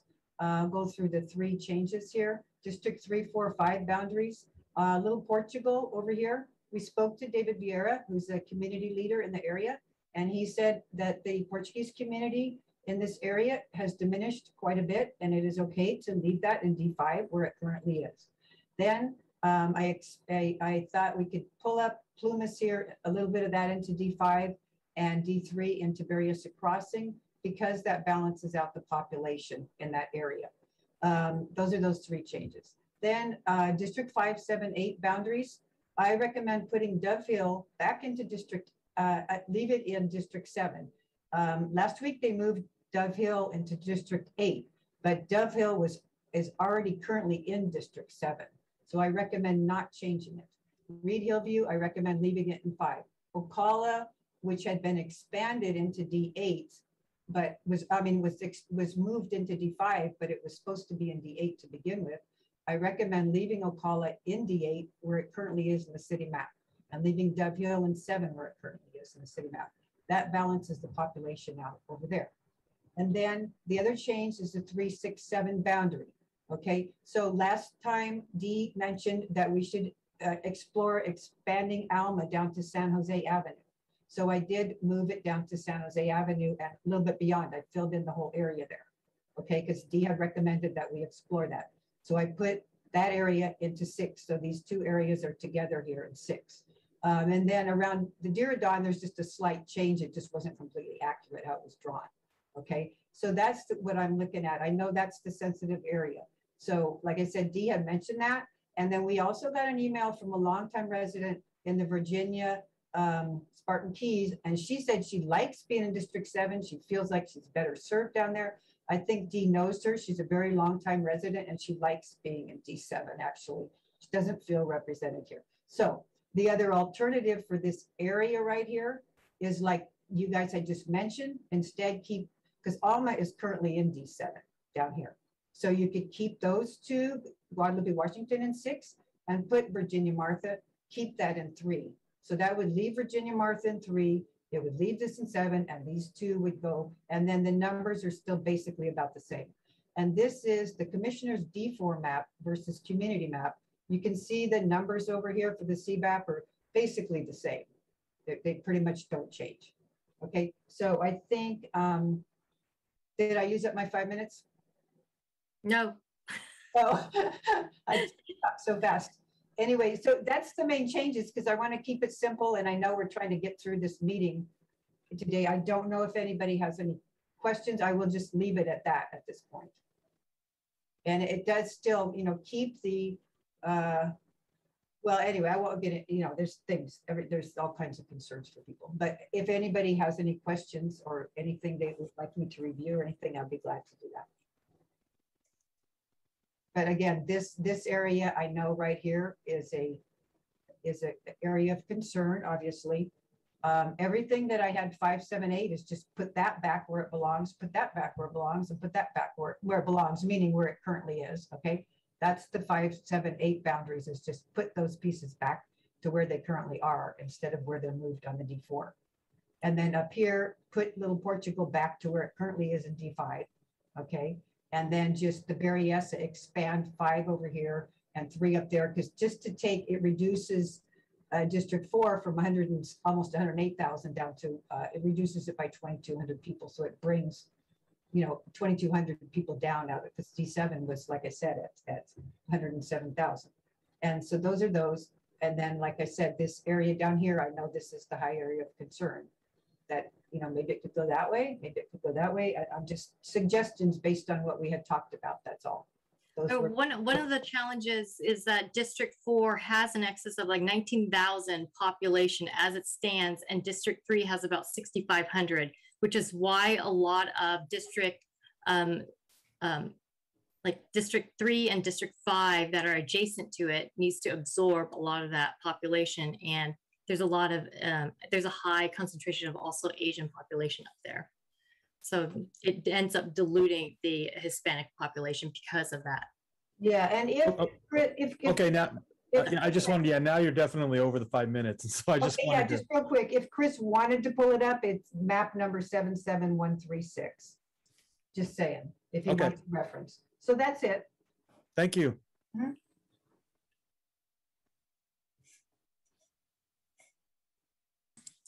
So um, I'm going to unmute Jeffrey Buchanan and see if I, if he has an actual map to present or if he just wanted to talk about the map he's already presented. Hi, um, yeah, this is Jeffrey. I just wanted to run real quickly through the, uh, the, the changes in, in our map. We got a couple slides with the, the card outs of the changes and, um, I think Andreas Quintero was, was also on to get, promote him and then we can be real brief. I'm here. Oh, excellent. All right, let me just, uh, load up, uh, sorry, I always forget how to do the, darn, it. okay. Oh, I'm, Uh, okay, there you go.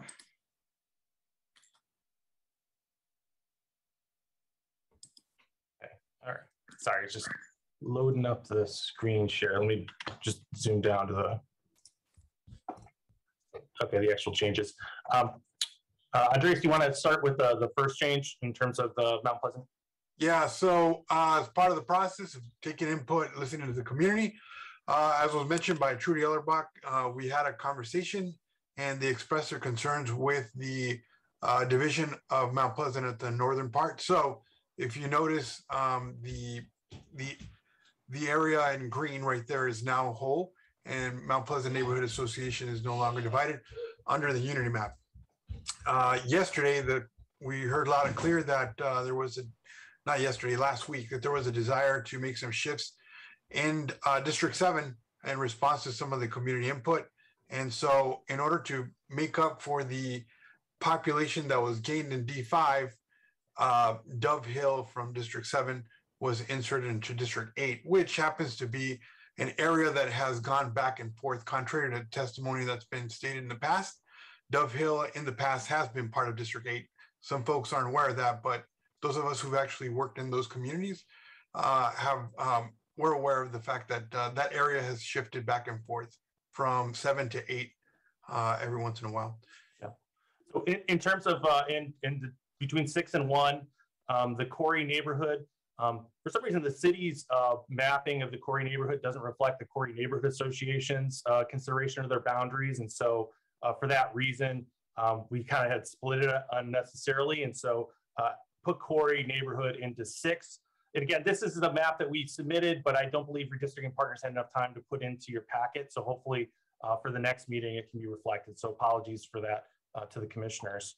Um, other than that change, um, there's been a lot of a lot of discussion uh, around uh, certainly the, the, the block of neighborhoods around Spartan Keyes, Washington Guadalupe, Tamien, and Goodyear Mastic.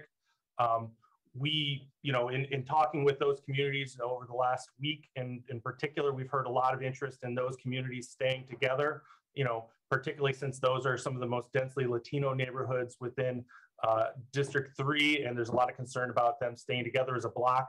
I think you've seen the commissioners how difficult it is to try to move population south. Um, I think you're probably starting to see a little bit about why our map moves population in three from four to three and then west rather than south because of this issue with the potential cracking uh, if you do move south rather than west. Um, you know, we've also heard concerns from uh, the public about, you know, why are we swooping in and uh, grabbing the Delmas Park and Gardner neighborhoods?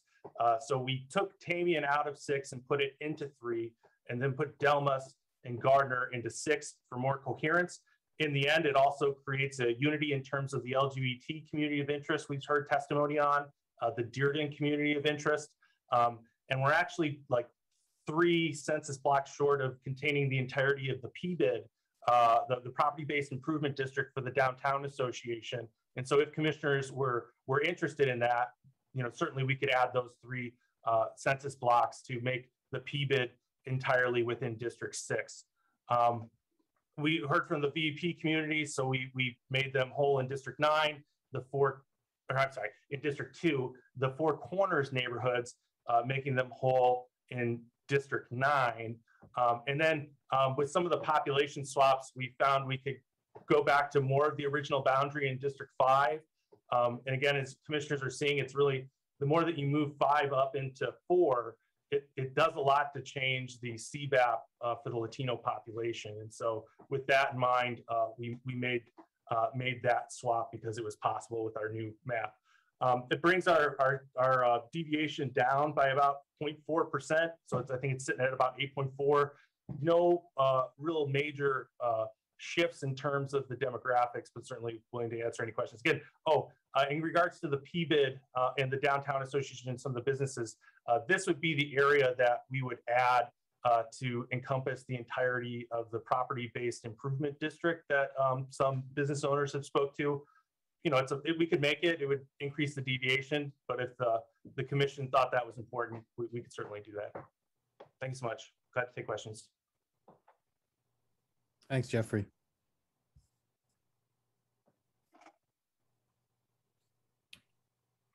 Tony, do we have any more presentations? No, those the people that um, submitted their names to me ahead of the meeting. Okay.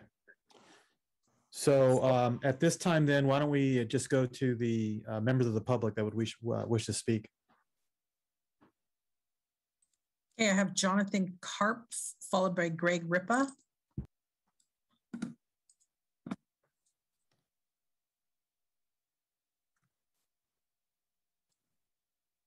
And again, I'm, I don't have Megan. I'm used to her clicking unmute. So I think I. Okay, I have unmuted myself. It's John Karp. I'm a, uh, a emeritus faculty of San Jose State. I've lived in Natick Park since 2002. The updated map is the only map under consideration by the commission that does not radically dilute the votes of Latino residents in downtown District 3, 6, and East San Jose District 5. I agree with uh, Commissioners um, uh, Martinez and Cardenas that that's a very strong concern. The uh, maps D4 and the community map through the five most Latino neighborhoods out of D3 downtown, which is a form of dilution of the Latino vote. The Unity map keeps Washington Guadalupe full ensures voices aren't diluted. It ensures a powerful neighborhood equal vote by placing Washington Guadalupe in the Unity map's eastern downtown district, including Tamien, Spartan Keyes, and Goodyear Mastic, three other pre predominantly index neighborhoods in D3 today, therefore maintaining community of interest.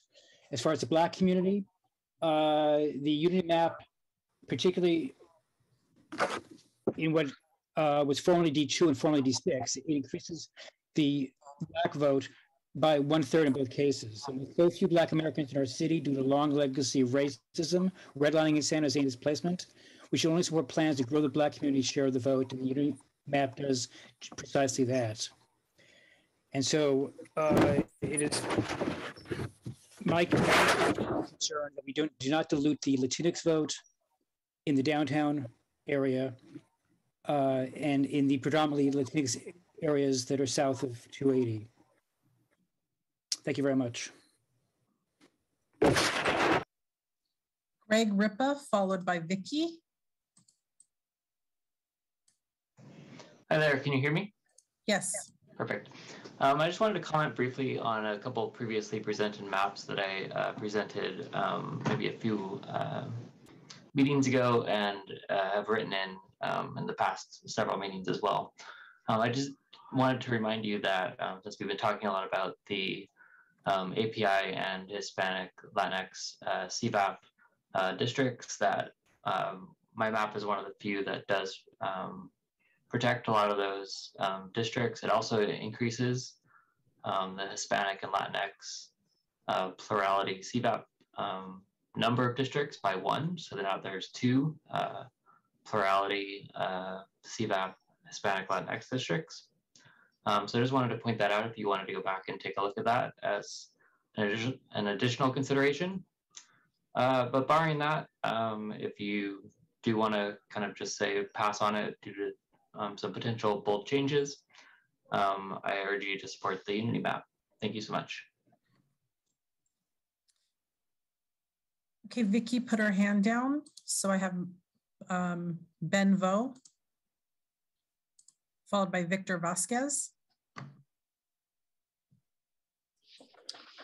Yeah, um, good evening, members of the commission, um, members of the public. My name is Ben Vo, and I'm here today um, after listening um, to all the presentations and for the past few weeks. Um, I think, in my opinion, that it's worth taking a look, overlaying maps um, on top of the maps already presented, maps of renters, of immigrants, of average household income, and especially our neighbors who are at the most risk of being displaced by rising rents and how that factors into um, just what has been already discussed in the discourse today.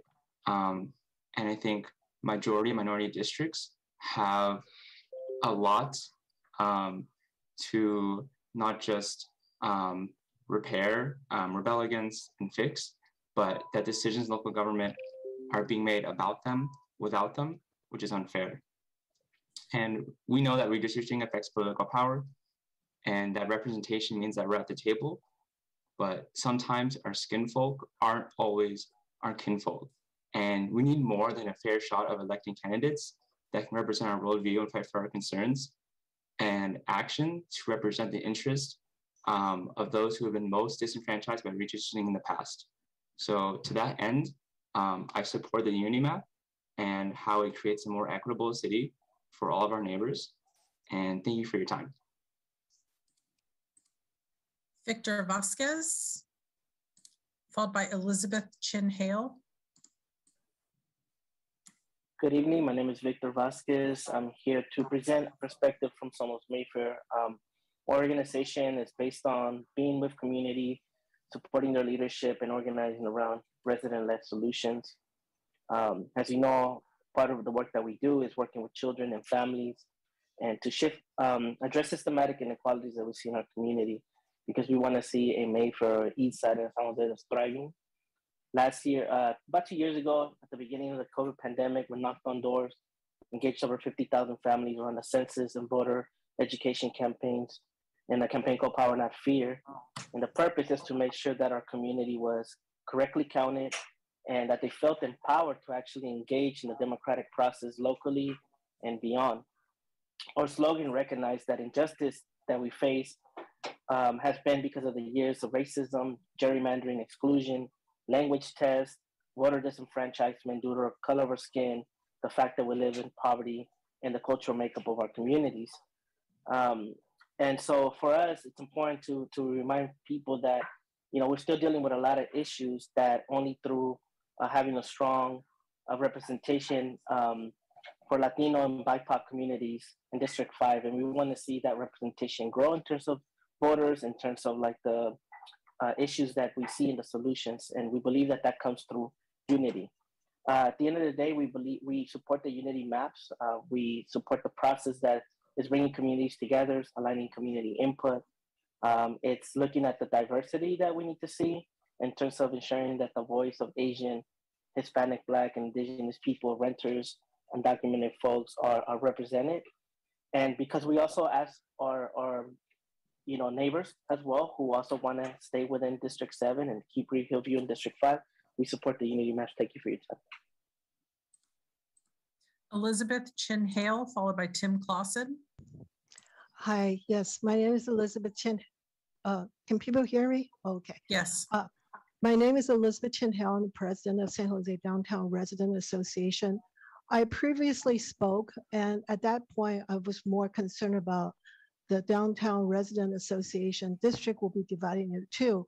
And um, and I, I I hear today with the Unity Mappers that they have taken that into consideration, but now they're moving us from D3, the entire district from D3 into D6. So that poses two problems from my perspective. First, I think you speak to the downtown resident. I think most most of us will tell you that we belong, we feel more belonging with D3, the current D3 neighbors rather than the D6. And uh, we share much more of the common problems than we have with people in Willow Glen or the Rose Garden area.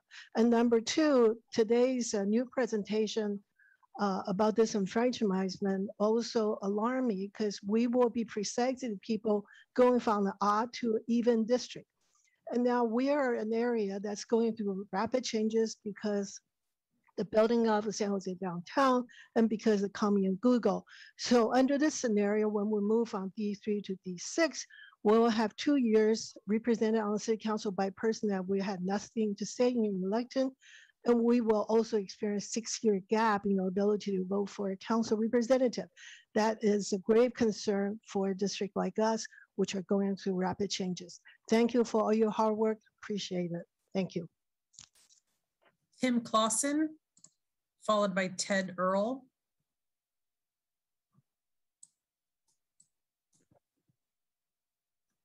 Hi, my name is Tim Clausen from the Vendome neighborhood.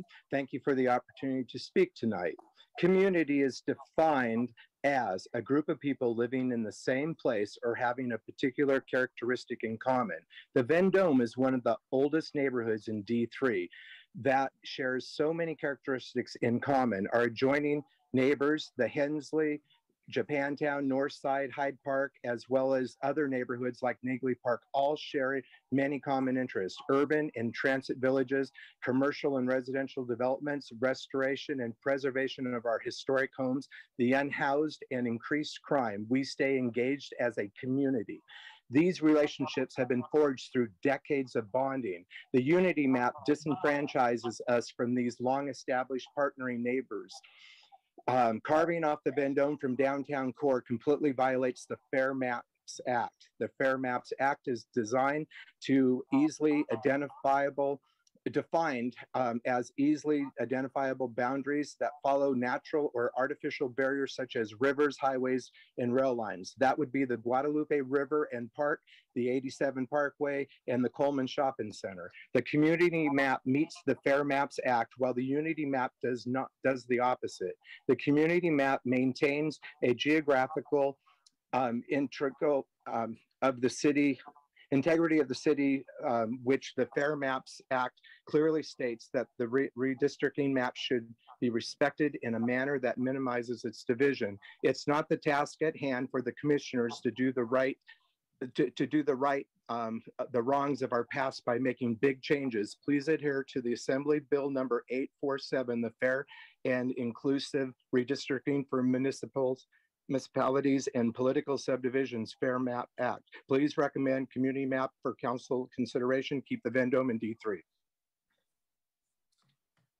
I don't know where. Ted Earl, followed by Andrew Macias. Yes, good evening. Can you hear me okay? Yes.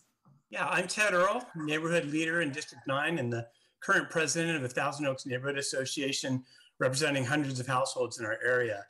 Uh, first, I want to thank the commissioners for their hard work and diligence in tackling this task. You've all put in many, many hours of service, and I want to acknowledge and thank you all for your efforts. I'm speaking again tonight to ask that you continue to keep the Erickson, Thousand Oaks, Pinehurst, and Tanglewood Tatra neighborhoods together in D9. Uh, our four neighborhoods have many issues in common. We've built strong relationships over many years with each other and our council office, and we have addressed all of these issues together. Uh, we've also helped build the District 9 Leadership Group, which may not survive if our neighborhoods were to be moved out of D9. I want to lend my voice in support of the community map in the way that it treats my neighborhood and our objectives. Those objectives being minimizing the number of disrupted neighborhoods, forming compact, manageable districts with logical borders, and collaborating with neighborhood leaders throughout the city. I would just like to add just a quick comment on the Unity map. Um, you know, the backers of that map have entrenched interests and deep pockets. You know, therefore, they can enable their supporters to show up to these meetings and be very vocal. Their numbers here may not accurately reflect the actual attitudes of San Jose residents. I believe that Commissioner Wright said it well early in the call, talking about the goals of this commission are to maintain the existing boundaries and neighborhood integrity as much as possible. The community map is the one that accomplishes these goals. Please support the community map. Once again, thank you very much for your time and consideration as you go forward in this process, and I'll yield back the remainder of my time. Thank you. Andrew Macias, followed by Nancy. Good evening, council members, and thank you for your time. My name is Andrew Macias, and I am once again here to speak in support of the Unity Map. I appreciate how it addresses the extreme inequalities I've witnessed and how it treats the East Side with respect. The Unity Map ensures the Reid Hillview, Mer- Reid Hillview is in the main East Side district with Alum Rock. I appreciate all the time and considerations I've been watching you all make in order to try and best serve your respective districts. And the fact that you've made so many adjustments to your existing options is proof that you are here that you hear some of what we are saying, but it's clear we need a voice of the community to speak a little bit louder. So we know that we're going to have to make splits in these current lines no matter what. And I know many of these homeowners associations we have heard from are communities of interest, but I'm here to represent the marginalized communities of interest. The only way to do that fairly is with the unity map. And as we just found out this evening, you will still be allowed to oversee the district that elected you until your term is up. I am, however, concerned about the changes Jeremy Plunkett pointed out about being changed and who gets to vote and when. The D3 district has been particularly vocal, yet not understanding about why we need to change their numbers. And I believe I heard 8.4 was the new PVID for our updated uh, Unity map. So we have ears as well, and we are listening. But it's not just about covering a spread of how many people of what color live where. It's about making sure where these lines are and that they're not cut in such a way that our voices get drowned out by the loudest few have always gotten their way. With the way these communities are growing, we have to be looking to the future if we really want to make this happen. I feel the, uni the Unity Map does this. Additionally, I wanted to remind those neighborhoods and homeowners associations that we are not actually going to build any walls or cut any communication in any communities. We've been catering to those wealthy, affluent communities for long enough to know that they are not going to listen to us until we make changes happen.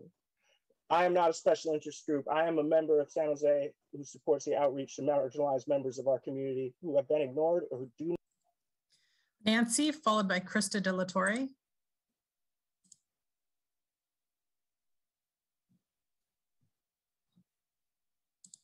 Nancy? Oh, I guess I was muted. Sorry. Okay, here I go. Um, can you hear me? Yes. Okay, great. Thank you so much. I support the community map. It achieves the same thing as the unity map without disrupting and annihilating entire communities. It has a natural, distinct legal boundaries that make sense. Tearing up our neighborhoods would be um, really weird where the unity map shows us being torn at the west end of district 3 it splits us at san pedro being part of the vendome neighborhood and living on San Pedro, I would be part of a neighborhood that is a wedge that belongs to no one, is involved with no one, and would be um, our section of neighborhood would just be a little small misfit neighborhood that doesn't belong in six and um, belongs where it's always been and with its rich history in District 3. So I support the community map and we are a very tightly knit community with the communities around us. I volunteer. I have been a volunteer my entire life in this community, and um, I am very, very devoted to um, uh, my Vendome neighborhood and the neighborhoods, Japantown, Naglee Park, Hensley, um, surrounding areas of the downtown region. So please keep that in mind when you make your decision. The community map achieves all of that. Thank you so much. Krista Delatorre, followed by Wade. Hi, good evening. My name is Krista Delatorre, and I'm here tonight to voice my support of the Unity Map. The Unity Map is backed by a growing coalition of labor, community, and civil rights groups, and it will work to keep communities together and ensure that every single San Jose City resident has a fair say in the representation. Unlike the D4 and community maps, UniMap will not dilute the voices of working people or marginalized communities. Compared to the other maps, the Unity map is by far the best for working families and renters. It unites renters in the dense neighborhoods of downtown, central, and south San Jose. It also works to unite multifamily neighborhoods along the I 85 corridor, like Hoffman Viamonte. Um, these areas have been poorly represented in the past, and so this would help give working families and communities of color who often rely on rental housing a chance for leadership that better represents their needs. The Unity Map also works to address San Jose's history of redlining while keeping communities of interest together. Unlike the D4 and Community Map, um, the D4 and Community Map will suppress the voice of not only renters but of the Latinx, Black, and Asian communities. Specifically, the Unity Map or the Community Map and the D4 Map um, move four of the five densest Latinx neighborhoods in D3 out of the district into D7, which would crack the Latino community in District 3. Um, these maps actively divide and suppress ethnic communities. So I encourage you today to please advance the Unity map. Um, it is by far our city's best option. It understands how to keep um, communities of interest together, ensure equitability, and value the voice of every San Jose City resident. Thank you so much for your time. Wade, followed by Sandra D.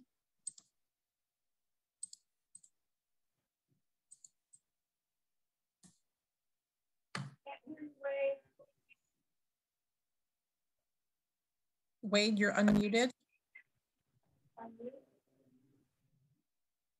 Hello? I, I can hear you very, very faintly.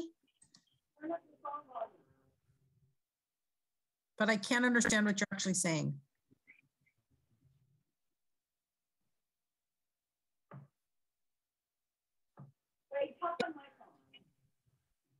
Wade, I'm going to move on to somebody else. Please put your hand back up and see if you can get your microphone fixed. Um, Sandra D, followed by Janice. Thank you, commissioners, very much for your time. I appreciate all your energy and devotion to this very difficult task.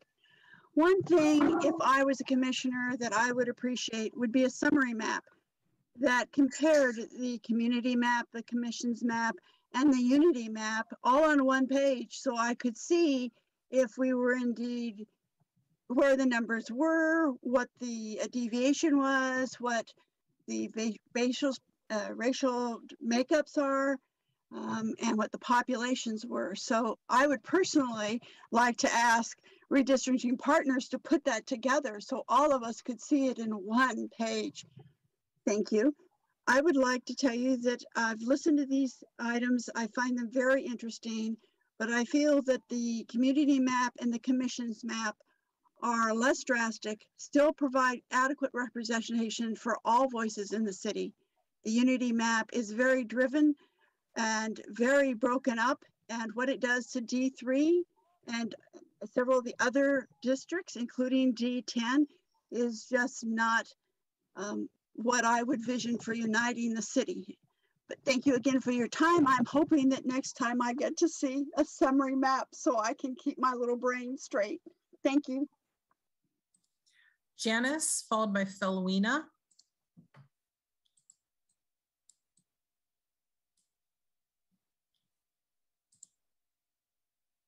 Can you hear me? Yes. Yes. Okay, so I agree with the person that uh, went before me. Um, it- it- it's uh, basically, we would like to see the differences between all the maps. Um, but it, quite frankly, it's not about history. It's not about eh, things of the past. It's about the future and it's about going forward. And the community map keeps neighborhoods together. The community map seems to do less disruptive things to the neighborhoods. And, you know, I cannot, you know, we can't fix the past. You know, we have to move forward. And I, you know, have to go with the community map that seems to keep more things together than tear things apart. Thank you. Felwina, followed by Hector Moreno.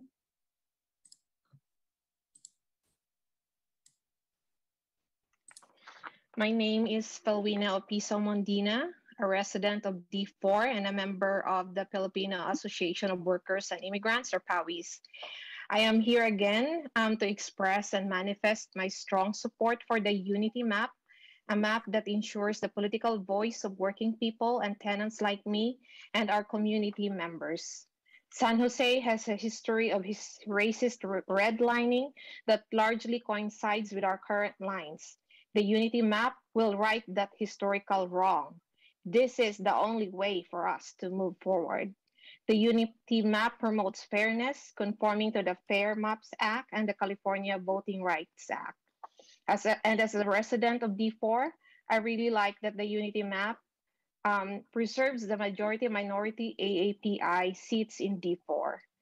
The Unity Map brings and keeps the communities together and it doesn't dilute votes from the marginalized, like the majority of our community members who are low wage earners and majority are also renters. Thank you. Hector Moreno, followed by Blair Beekman. Good evening, um, commissioners. Thank you for your time once again. Um, it's Hector Moreno. Um, here again to show support for the Unity map. Um, I just feel that this is uh, the best map, and um, just like the previous caller said, we cannot um, do the, uh, fix the wrongs of the past, but we can we can um, fix the wrongs of the present. So the Unity map does that. Um, I hope you choose to be on the right side of history in San Jose history, um, because growing up in this town, um, we were always left out in the east side. So please keep the east side together and please support the Unity map. Thank you so much for your time. Have a great evening. Blair Beekman, followed by Forrest Peterson. Hi, Blair Beekman here. Uh, thank you uh, for your meeting tonight. Um, I'm getting the feeling you're starting to solve the split district issues of District 6. Uh, thank you for that, I guess. Um, with that problem uh, being worked on, I think that leaves uh, issues of District 7, District 3, District 5 uh, to consider. Um, I have a real question that all the maps uh, these days, they, they don't show the street names on them. This issue was an issue in the beginning of the sessions. We let it go for a bit. I hope you can start to put street names on the future of these maps so we can get a very exact picture of uh, where where things are going to be. Because what are we going to do about the future of uh, the Gardner area, and where exactly is is is District uh, Seven, Six, and Three going to make the connection? I think it can go, you know, up closer, uh, a little bit past the freeway into the uh, Reed Williams neighborhood area south of San Jose State. I think seven can go that far. And I think we need to learn that uh, District 3 doesn't have to take on, it's got a lot of things in it. It's got the airport, it's got three or four BART stations in it. It's got a bunch of economic items that uh, I think I think we can afford to to push into District 3 a little bit more. Um, District 3, District 6, and District 4 were all built on huge districting in the past, so they could be huge economic engines. And I think it's time to consider you know, the equity engines of, of, of, of D7 and, and how it can really move close to uh, the Google Village area as much as possible and, and into perhaps uh, the, the San Jose State neighborhood. Uh, it's a good fit. It, something can feel natural in doing that. We shouldn't be afraid of it. And District 5 can move into a little Portugal area, I feel, with the BART station there. Thank you. Forrest Peterson, followed by Maria Rocha. Hi, my name is Dr. Forrest Peterson. Uh, I'm here to speak on in support of Unity Map. Uh, I am a researcher at Stanford University in civil and environmental engineering. However, uh, for the last five years, I've been doing research in career technical education in uh, for the construction industry. And I, through listening to the discussion, I was invited by some colleagues to to tune into this and, and better understand the demographics that I've been working with for these years. I've worked predominantly with students in District 4 and District 7, but I'm now aware that I have not worked with students in District 5, which actually seems a little bit um, seems a little bit like I should have been working with students in District 5. And then, of course, I work with the college over in District 8.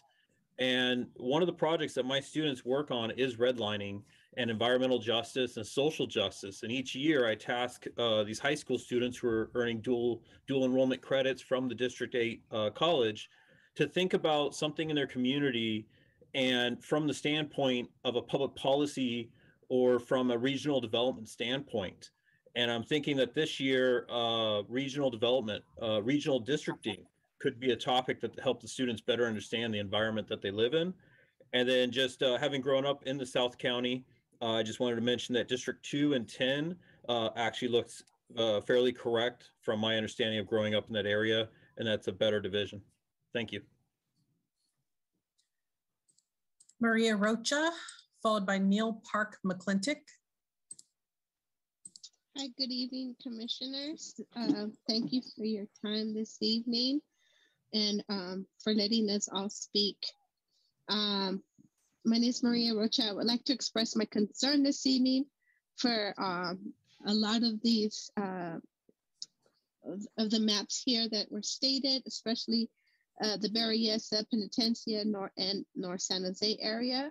I am in support of the Unity map, and it doesn't limit me, but other compete uh, competing neighborhoods. The Unity map limits how many other neighborhoods are within that Berryessa district which I definitely support, so that our voices aren't diluted or split among competing um, neighborhoods. These maps keep our community together as it should be. And we know that during the census of 2010, our Berryessa community came together to demand all of their neighborhoods to be included into the council district, which was a very important time. It would be mm. unfair and not right to split this wonderful community of interest. It would be great also to see a change in all of these maps it would help all the communities that are less fortunate. It would be, it would like, I would like to see the help be directed in helping the Latino, Black, and Asian communities. The community maps helps us keep keeps us all together and united as one. I would definitely not want their voices to weaken or split among other competing neighborhoods. Thank you this um, this evening for your time, commissioners. Neil Park McClintock followed by Tessa Woodmansey.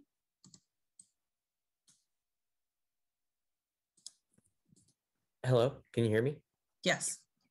Hi, uh, my name is Neil Park McClintock, uh, and I am one of the community organizers for the Unity Map. And I wanted to express support today for the Unity Map fittingly. Um, but on a serious note, as someone who does identify with the LGBTQ community, um, as an openly bisexual person in a happy relationship with another man. I think it's really important that the, um, the, the Unity map has found a way to incorporate all of the heavily LGBTQ areas of interest um, into one single district, including the area along the Alameda corridor, which has the Bill Wilson Center, a rainbow crosswalk, and many young multifamily renters in newer housing who are disproportionately um, in that category of LGBTQ along with Post Street, uh, which has become sort of a new spot, um, a new hub, uh, with sort of um, the the queer club there being the anchoring point, um, and SOFA as well, which also tends to be home to many different um, LGBTQ events done by Silicon Valley Pride and others, such as the um, uh, the drag show that is the first, I believe it's Saturday. It's been a while because of COVID um, of the month. So yeah, I think it's a really important factor to consider. The Unity map has taken this community of interest into consideration and has drawn the borders as such in a way that is logical and inclusive. Thank you very much. Tessa Woodmansey, followed by Sarah Wang.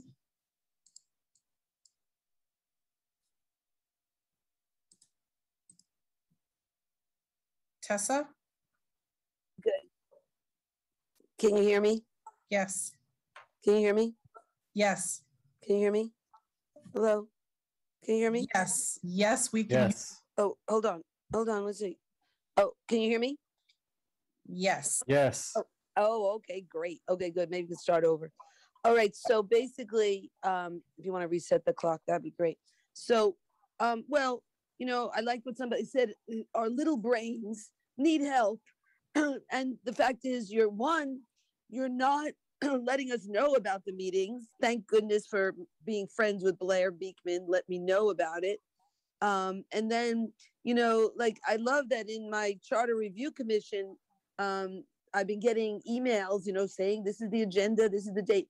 Maybe I didn't sign up, but you're not making it easy to know how to sign up and what to do that. So we get notified of these strange meetings on strange days. And I guess it used to be on another day. These meetings were on Thursday, then all of a sudden today. So anyway, so that would be very helpful for more better community outreach. Then in terms of, you know, the maps, you know, like I like what the woman said, our small brains, it's very difficult. And like Blair said, you don't show us the the names of the streets. And so you really hard to know where it's really cut off, like in terms of the unity map, where District Six gets that little island in it. I'm not sure if my neighborhood's in it or not. So these are these are critical issues and you can't read the maps. And when somebody recommended that we be able to compare these maps side by side, I really think we do need more public, um, you know, discussion that could be like a, a, a webinar about this, and we can look at it together and and discuss things, you know, more in more granularly. And I, I did like the Unity map because of my having trouble with my own neighborhood association, part of District Six. Actually, even my my my council member, um, Deb Davis. You know, I like the fact that I'd be more engaged with uh, District Three um, because I feel more alignment with their um, their council member and their issues, which are not about jobs and economic gain, but more about basic needs. And I think we need to get back to that. So I like the idea of being closer to the people of District Three versus my district. Sarah Wang, followed by Marnie Kamzen.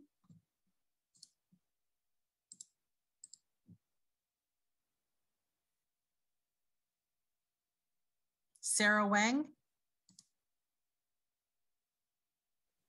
Can you hear me? yes. I'm sorry. Okay, I was mute. Um, my name is Sarah Wang, and my family lives in District 6 for decades. We support the community map that keeps our community together, and we strongly oppose the unity map. Seems to me the unity map is pushed by some special interest group, and one of them is Asian Law Alliance. My family is Asian American. I have to say that Asian Law Alliance does not and cannot represent my family and our Asian community. So please support the community map. And thank you very much. Have a good evening. Marnie Kamzen, followed by Edmundo Escarcega. Hi, can you reset the clock, please? Hi, thank you, commissioners, for all your time and hard work on this issue. I do not envy the task you have ahead of you. This is the fourth redistricting meeting that I have attended, and I find that I'm disheartened by the divisiveness that is being fomented by special interest groups that ironically call themselves a Unity Map. Our city has many issues that we are dealing with, but with a focus entirely on race, this map is creating wedges between neighborhoods that have worked together for years. Last week, the commissioners spent almost 55 minutes listening to and then dissecting the community map presentation with their comments and questions. The unity map presentation took seven minutes and there were no questions from the commissioners, not one. This has puzzled me. How can the commissioners pass on a map to the council when they have not publicly examined and scrutinized and questioned it. The community map has been left off the redistricting website and was not addressed properly by the consultant, but it has the lowest standard deviation of any of the maps presented. With the known growth that is coming to D3 and downtown and all the affordable and supportive housing that is coming as well to D3, in addition to a large amount of market rate housing, we need to pay attention to population. The community map has adhered rigorously to the rules of redistricting, keeping communities of interest, contiguity, compactness, and other requirements. I am asking the commissioners to examine the unity map with the same necessary attentiveness to detail. I'm asking the commissioners to send the community map to the city council. Um, no special interests or deep pockets are involved in the community map. This map has undergone rigorous discussions with many existing communities of interest. Please support it and send it to the city council because it's the best map out there. Edmundo, followed by Marissa. Good evening, Commission. Uh, I want to speak in favor of the Unity Map. I am a lifelong resident of San Jose, uh, currently District 2, formerly District 3. We need a map that promotes fairness and a map that keeps our neighborhoods and communities whole. The, the Unity Map will not suppress the voices of our Latinx, Black, and Asian communities. The Unity Map is the only map that does not radically suppress our votes in District 3 and 5. I urge the Commission to choose the Unity Map. Thank you. Marissa, followed by Eddie.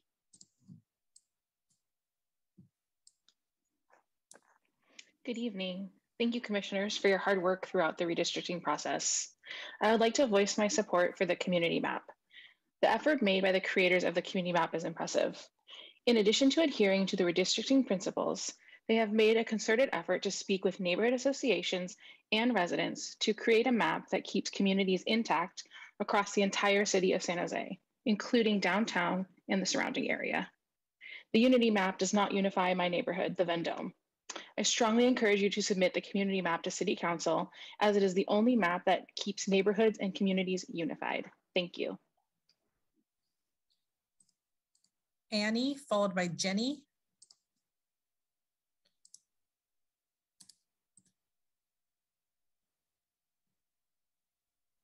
Hi, this is Annie, and I appreciate the opportunity to share my views with my community.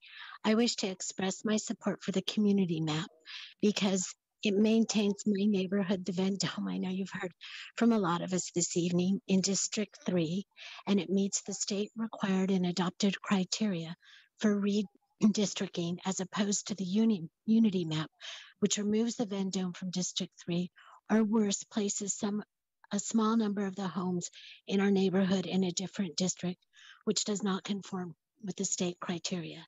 Specifically, state criteria requires that districts maintain contigu- con- contiguity and maintain neighborhoods.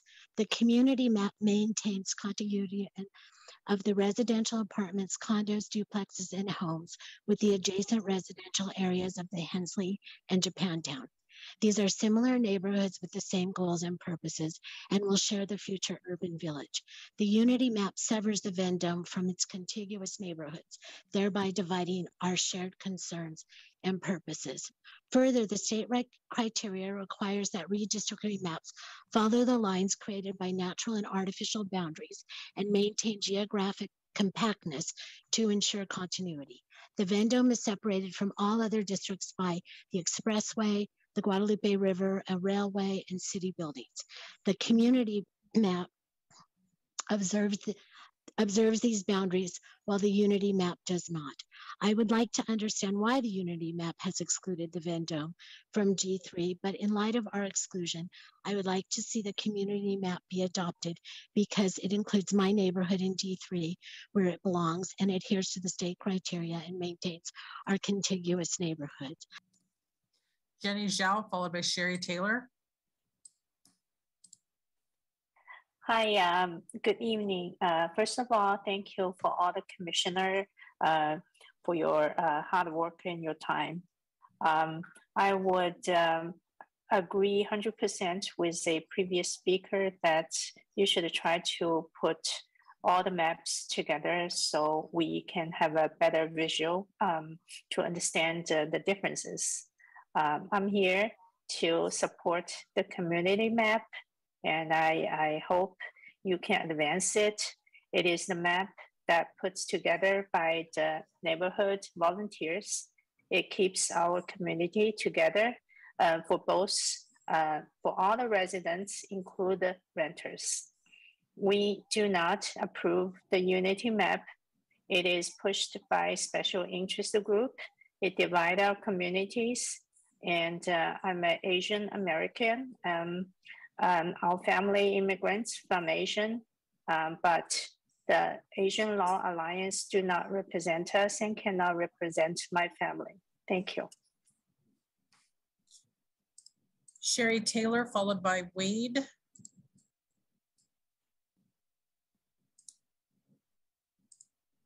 Sorry, Sherry, I just clicked allow to talk. There you go.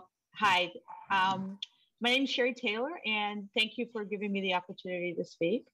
Um, this has been a very interesting uh, meeting. I've never um, sat in on a redistricting meeting, and it's so. Um, and I, I love how democracy in action is working. So I am calling in uh, support of the community map. Um, I the one thing I do have to say of listening um, through the whole all the conversations is how um, it, you know in spite of the fact that when i look at the unity map i don't feel like i feel like it's not as good as the community map. It just concerns me that we have to use a lot of language that is divisive when in the end we're all part of san jose and we're all human beings and we're all working together to make the city better. Um, and so um, and i don't i haven't heard that uh, coming from anybody uh, supporting the community map side. So um, I, again, I thank you for your hard work and um, that's all I have. Thank you. Wade, followed by Miss Rayan Mendoza. Hello, I'm from the Hensley, Japantown, Vendome neck of the woods. And what I seem to be hearing the the consistent strain throughout the evening is it sounds like there's a, a grassroots contingent and a special interest contingent. The grassroots contingent seems to be talking neighborhoods and community as in my house relation to the next house and this neighbor relation to that neighborhood. The special interest, when I hear them talk, they use terms like community of interest, and they'll actually say special interests. Uh, one of the very articulate speakers earlier is from Cupertino, speaking in behalf of the Unity Map. So I, I think that's such a clarified difference. The community map seems to be on the ground, grassroots, street by street. And the unity, which in my heart, I want the unity map to be the right thing. It's I, I all those special interest groups are important and their voice is important and their concerns are important. But when you look, I look at the map and I see they split the street San Pedro. San Pedro Street is split out of the neighborhood I'm in. So San Pedro is connected over a river, over a highway, over a railroad track, over the airport um, um, free building zone to Rose Garden. And that's the middle of the street. That means neighbors who are 20 feet apart are in different districts. That seems absurd, and that can only happen in a non grassroots organization. A special interest group, and I, it sounds like a bad term, special interest group, I don't think it is necessarily. But in this case, there's a real disconnect between what their interests are and what the actual on the ground needs are. So I'm calling in support of the community map. Thank you. Ms. Rayan Mendoza followed by Elizabeth Harai.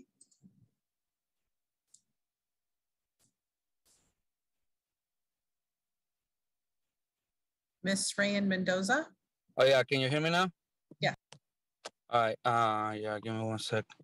So yeah, good evening. My name is Miss Ray Mendoza. I'm a um community member, uh, District 7. What I hear here is a lot of fear and disbelief that the minorities are rising. And to me, that's amazing to witness something of this proportion. In a beautiful city of San Jose, yes, we all together, but uh, let's not the, the, the, the history, okay, repeat itself. A lot of uh, commissioners, remember, back in the day, okay, and you guys know what we're trying to do as a community, how we've been treated, okay? The Latinx, the indigenous, the blacks, the Asians, okay? And in my heart, I feel the equality is possible, okay? And, and, and the unity map shows this. I know it's a little different and everybody's scared of having different, but uh, I think different is good. It keeps people honest and straight, okay? And remember, every man, everybody, everybody has the right uh, of, of happiness. And I believe the, and, and then more especially the pursuit of happiness, okay? Ladies and gentlemen, I call upon you commissioners to remember how we were mistreated back in the day. And you guys have something important in your hands, you guys can change, okay? Send the unity map to the city council, and then we decide when it gets to the city council. This great city of San Jose is united. We we already united. We're just discussing what the future is gonna be. Don't mistake that, okay? Because we community. Elizabeth Harai, followed by Julie. Good evening. My name is Elizabeth Harai, and I am a part of uh, the D9 Four Corners neighborhood. I'm currently on the board for Pinehurst Residents Association, and I do, I've come to several of these meetings in the last uh, two weeks, and I'm happy that um, our Four Corners of Thousand Oaks Neighborhood Association, Pinehurst Residents Association, and Erican, Erickson Neighborhood Association and Tatra are well positioned to continue to stay together in D9.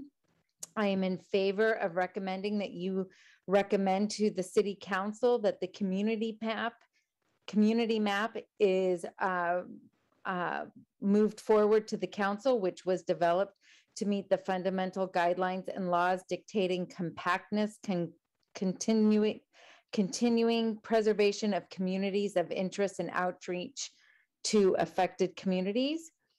I'm opposed to the un- unity map, which was created contrary contrary to redistricting laws and best practices, especially in the way it breaks up communities of interest, as many people have said this evening. I believe uh, um, eh, what a previous commentator stated that we need to move forward, and you are um, the stewards of this opportunity for us. Thank you very much for your time uh, and working through all of this. This has been a fascinating process as a um, community member and on the board of Pinehurst Residents Association to see all of the different uh, factions within San Jose. And thank you for working on this on behalf of our city. Good night. Julie, followed by Yuritsa Martinez. Hi, can you hear me? Yes. Okay. I'm for the community map. My name's Julie. I live in the Vendome neighborhood. Um, and I like what Wade said about the special interest groups and the grassroots groups. Um, having the San, North San Pedro Street cut off from us in the Vendome neighborhood absolutely does not make sense. Um, anything that is happening around our neighborhood on North First Street, on Taylor Street, down more where Civic Center is, that street that actually goes into Civic Center where the county government building is won't have any say so in anything that's related to where they live. So it absolutely doesn't make any sense. Um, and also like like was said before there's uh, highway 87 there's guadalupe river park um, there's the coleman avenue where all the shopping is that that the people that live on north san pedro would have to go through in order to be uh, unified with uh, the Rose Garden area, which it I don't understand why that uh, separation was come about. Also, I too would like to see maps that have street names on them. It doesn't seem that um, the commissioners or whoever's creating these maps is being very transparent because I'm looking at them at home. I do not have a huge uh, 50 inch monitor where I can get into detail looking at these. I have a normal laptop. Um, it's it just doesn't seem, you know, there there seems like there's something missing that we're not getting the full picture. We're not being told everything because the names of the streets are eliminated. Um, yes, it says 87 or North First Street or Taylor Street, but it doesn't have all the specific streets in there. Yuritsa Martinez, followed by Adam G. Hi, my name is uh, Yuritsa Martinez. I'm in support of the Unity Map. Um, I am opposed to the community map. I know a lot of people are saying they're in support of it because, you know, the special communities of interest or whatever. Like, honestly, every community should be a community of interest. And like you said before, uh, the reason these communities are together is because they were put together in the first place. Um, and kind of every other colored community was just pushed to the side. Um, and so there's really, if you're just going to keep those lines only favoring the wealthier communities, and there's really no point of changing the lines, right? The point of changing the lines, the lines is to bring um, equality and the voice to vote um, to everyone. So if changing the lines the way the community map has them is going to keep um, all the wealthier communities with the you know the bigger voice, then there's really no point of you guys making a change to the lines because you're not making a change in general. Um, so if you are going to make a change, make sure that the change brings voice and equality to the communities, all of the communities. I don't care who communities or interest or whatever, because the only people that are communities of interest are the ones that were, you know, put on there by redlining. And so that's really like if if you don't take that into consideration, you're really kind of just turning your cheek the other way. So, you know, I appreciate you guys' work and I really hope you make a honest and um, right decision with doing this. It's not easy, um, but you guys know what the real outcome will be for the next 10 years. And so don't take that lightly. Thank you. Adam G, followed by Cher. Hi, I'm a resident of District 3 in the Vendome neighborhood. I joined the call to voice my support for the community map and also thank the creators for their efforts and their communication with the neighborhood. I believe the community map is, is more practical than the other proposed option and it keeps the downtown neighborhoods and emotions around downtown unified. Uh, the other map has a lot of buzzwords and a lot of emotions behind it, uh, enough to uh, fill the back of a Subaru up with bumper stickers, but I'd prefer to go with the practical side and go with the community map. Thank you.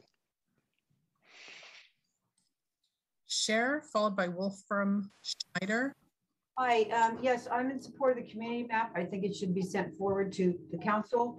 And the fact that, that the uh, community map people were threatened with a lawsuit earlier in the meeting, I would like to respond to that and say, 14th Amendment, if race is a predominant factor or as a result of considering race, the districts are very oddly shaped, then the lines may be unconstitutional. If race is a predominant factor, it may be unconstitutional. The only thing the unity map people have ever talked about was race. Okay, so if you want to talk about a lawsuit, it might be right there.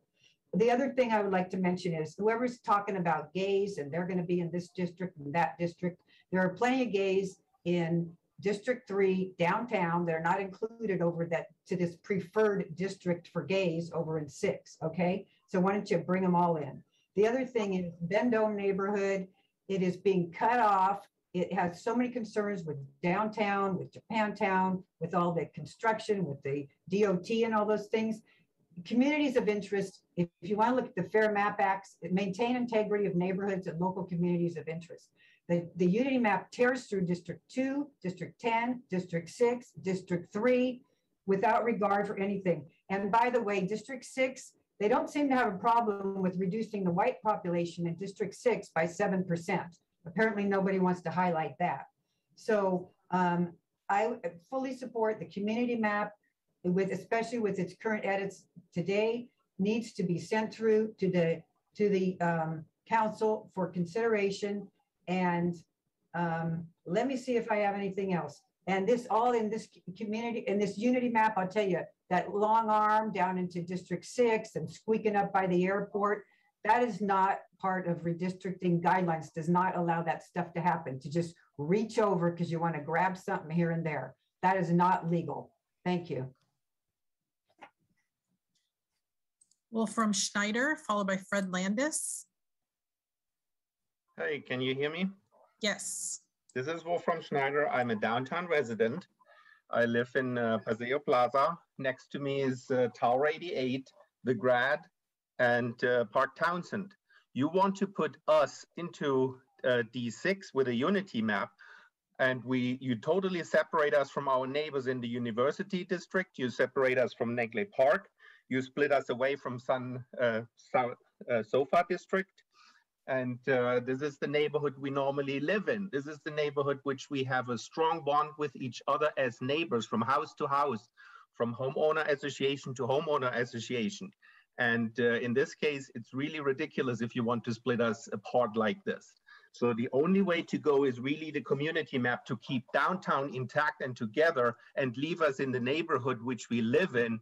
We have nothing in common, you know, with the uh, D6 uh, district over at Almaden and Rose Garden. Thank you.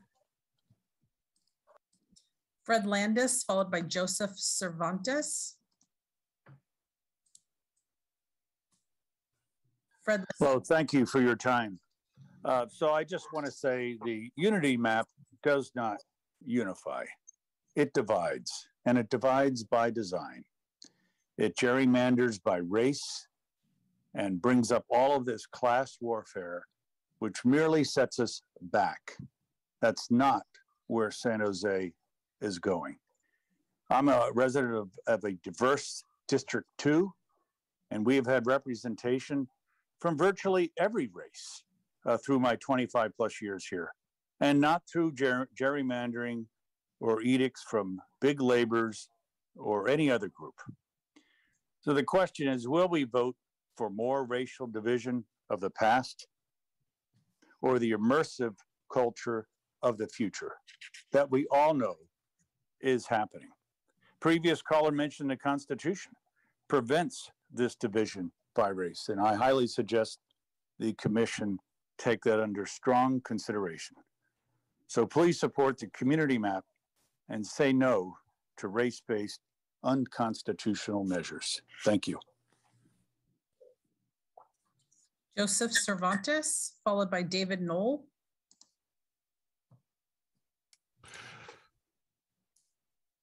Hi, this is uh, Joe Cervantes. I'm uh, speaking in favor of the community map. Um, we hear a lot of the speakers in support of the unity map, um, and they say that they're for equality, fairness, against redlining and voter suppression. Um, the unity map, you know, it's not a panacea. It's presented as a remedy for all difficulties, past, present, and future, and it's not. It's just it's a it's a power grab as far as I can tell.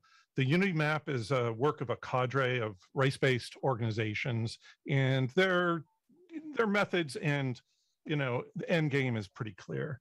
Um, if you look at what's the guidelines for redistricting, population balance, well, everybody is doing that. That's the purpose of this whole endeavor, um, with everything else being secondary. Communities in, communities of interest, that's a pretty vague idea. You know, if you go into a neighborhood, you can see like, oh yeah, this neighborhood is like that. That might be a community of interest. Uh, the Unity map, they're cooking up all kinds of crazy ideas for uh, communities of interest or different ideas. Let's put it that way. Um, compactness, well, they fail there. My God, if it's to be compact, the the the um, districts would look round, you know, spherical or, or circular, not like dragons. Unity map, dragon map, not good. Boundary preservation, also failure. Same reason. It's gerrymandered, dragon looking like crazy. So, uh, you know, the Unity map, not good. It's not good. People look at the community map has good intentions behind it good people, you know, grassroots people trying to put something together that's not divisive. Go unit, go community map. David Knoll, followed by Jeremy Plunkett. I, I strongly urge the commission to support the community map and its extensive grassroots efforts to preserve communities of interest and keep districts compact, contiguous, manageable, and enabling all residents to have the best possible representation and constituent services. Practicality benefits everyone. Please don't allow District 2 to be wedged in between Districts 9 and 10 in the Almaden Blossom Hill community of interest, which would create chaos in the planning and construction of urban, urban villages along Blossom Hill corridor between Almaden Expressway and Highway 85 which will help address the critical housing needs of all of our residents. The Hoffman Viamonte neighborhood has been very well represented by District 10 for at least the past 20 years, and it's unnecessary to move it to District 2. I expect all city council members, regardless of their ethnic demographics and gender orientation, to represent all of their constituents equally, regardless of their demographics and orientations. With our city's wide diversity, most people will be represented by council members with different skin colors and genders than themselves. We should embrace that, not consider it voter suppression or disenfranchisement. The real way to affect change is to roll up your sleeves, work with your council members, and organize your neighbors to identify issues that affect you and identify and promote workable solutions. I don't believe that simply changing district boundaries will affect the changes that so many passionate speakers have been seeking. Thank you. Jeremy Plunkett, followed by Jeffrey Buchanan. Yes, hello. Sorry, I, I know I already got to speak briefly this uh, evening and thanks for your time. I appreciate it. I, I, had a few things I wanted to add to my earlier presentation. Uh, I don't mean to blame anyone. I want to be clear that this is an issue that if anyone is to blame, it's the city for encouraging people to draw maps starting from a blank slate, which guarantees that the maximum number of voters will end up being disenfranchised. And I want to point out that uh, in the existing maps under consideration, not only are there significant numbers of voters moved from D3 to D6, but in particular, uh, the Unity map moves significant numbers of voters from D9 to D2 and D5 to D8. And all of those people, those whole neighborhoods, thousands of people, are going to sort of wake up a polling day or when they go to send in their ballots in 2022 and be like, huh, why am I not voting for a city council member? I thought I was going to be voting. And uh, it's really on you and, and the city council to, to see if you can prevent that from happening. Because I, I think some people at some point are going to really notice this and get worked up about it. Uh, it's a big issue of the day across the country right now, the integrity of our voting and uh, fairness of our voting. And I'd like to see San Jose be uh, taking a proactive stance on this and really be in the lead. Maybe it takes a change to the city charter, but much better that we go through the work of doing that than, than a lawsuit that just costs money. And the other issue I wanted to mention is it's been uh, considered recently to redistrict again in just a few years, maybe divide the city into 14 districts instead of 10. And if we allow that to go forward, there's the potential for people who were disenfranchised in this redistricting process to find themselves again with their voting pushed out another two years or another four years. And that would just get ridiculous. I think we all agree we don't want to see that happen and we need to fix the process sooner, not later. Thank you. Jeffrey Buchanan, followed by Roma Dawson. Uh, thank you, members of the commission. Uh, Jeffrey Buchanan here on behalf of uh, Silicon Valley Rising Action. Certainly appreciate the opportunity to present the updated Unity map earlier and would encourage you uh, to send that map to City Council. In fact, you know, I think all three maps that are under consideration currently by the commission uh, probably are all deserving of the City Council considering. Um, more important than that, I just wanted to speak to some of the discussion tonight. Um, I think you've heard a lot of comments uh, from folks who have talking points uh, trying to question the motives of those who've worked on the Unity map, the community members who've been engaged around this question and decided to spend their evenings uh, talking with you about why they think it's important. Um, it's one thing to question uh, what what what kinds of what kind of ideas people have. It's another thing to question the motives, and I think it's a really dangerous, slippery slope. Uh, you know, we have organizations who put this map together, uh, who represent tens of thousands of residents in the city of San Jose. Uh, we've engaged with thousands of residents about the ideas behind this map to try to get additional input and you know have been working to iterate and to work on these maps you know i am not a special interest you know i'm i'm a community resident like everyone here i, actually uh, volunteer and represent uh, my school board. I have students in District 6 who are District 6 residents who, during the pandemic, you know, had family members who couldn't get a job, who couldn't collect unemployment, who needed food, who who were worried about paying rent checks. You know, these are the very families that are not adequately represented in their current district.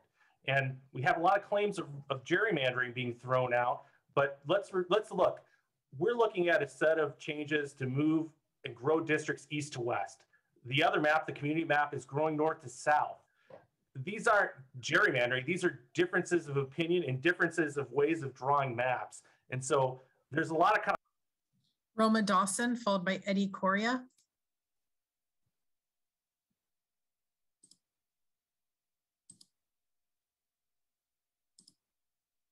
I clicked allow to talk, but Roba's microphone is not showing up. So I'm going to try that again. Okay, I'm going to move on to Eddie Coria. Roma, something weird is happening with your um, with your Zoom. When I gave you permission, your mic didn't show up. Please check to make sure your mic is connected. Go ahead, Eddie. Um, thank you, commissioners. I would like to ask both community map, uh, the community um, map presenters and the unit maps to please layer uh, where current um, school districts are at because I see that uh, an example up here near the Penitencia Creek, um, pretty much all the schools are in D4 and um, Toyon used to be in D4 and it's now being um, included into D5. And uh, it kind of doesn't make sense to have um,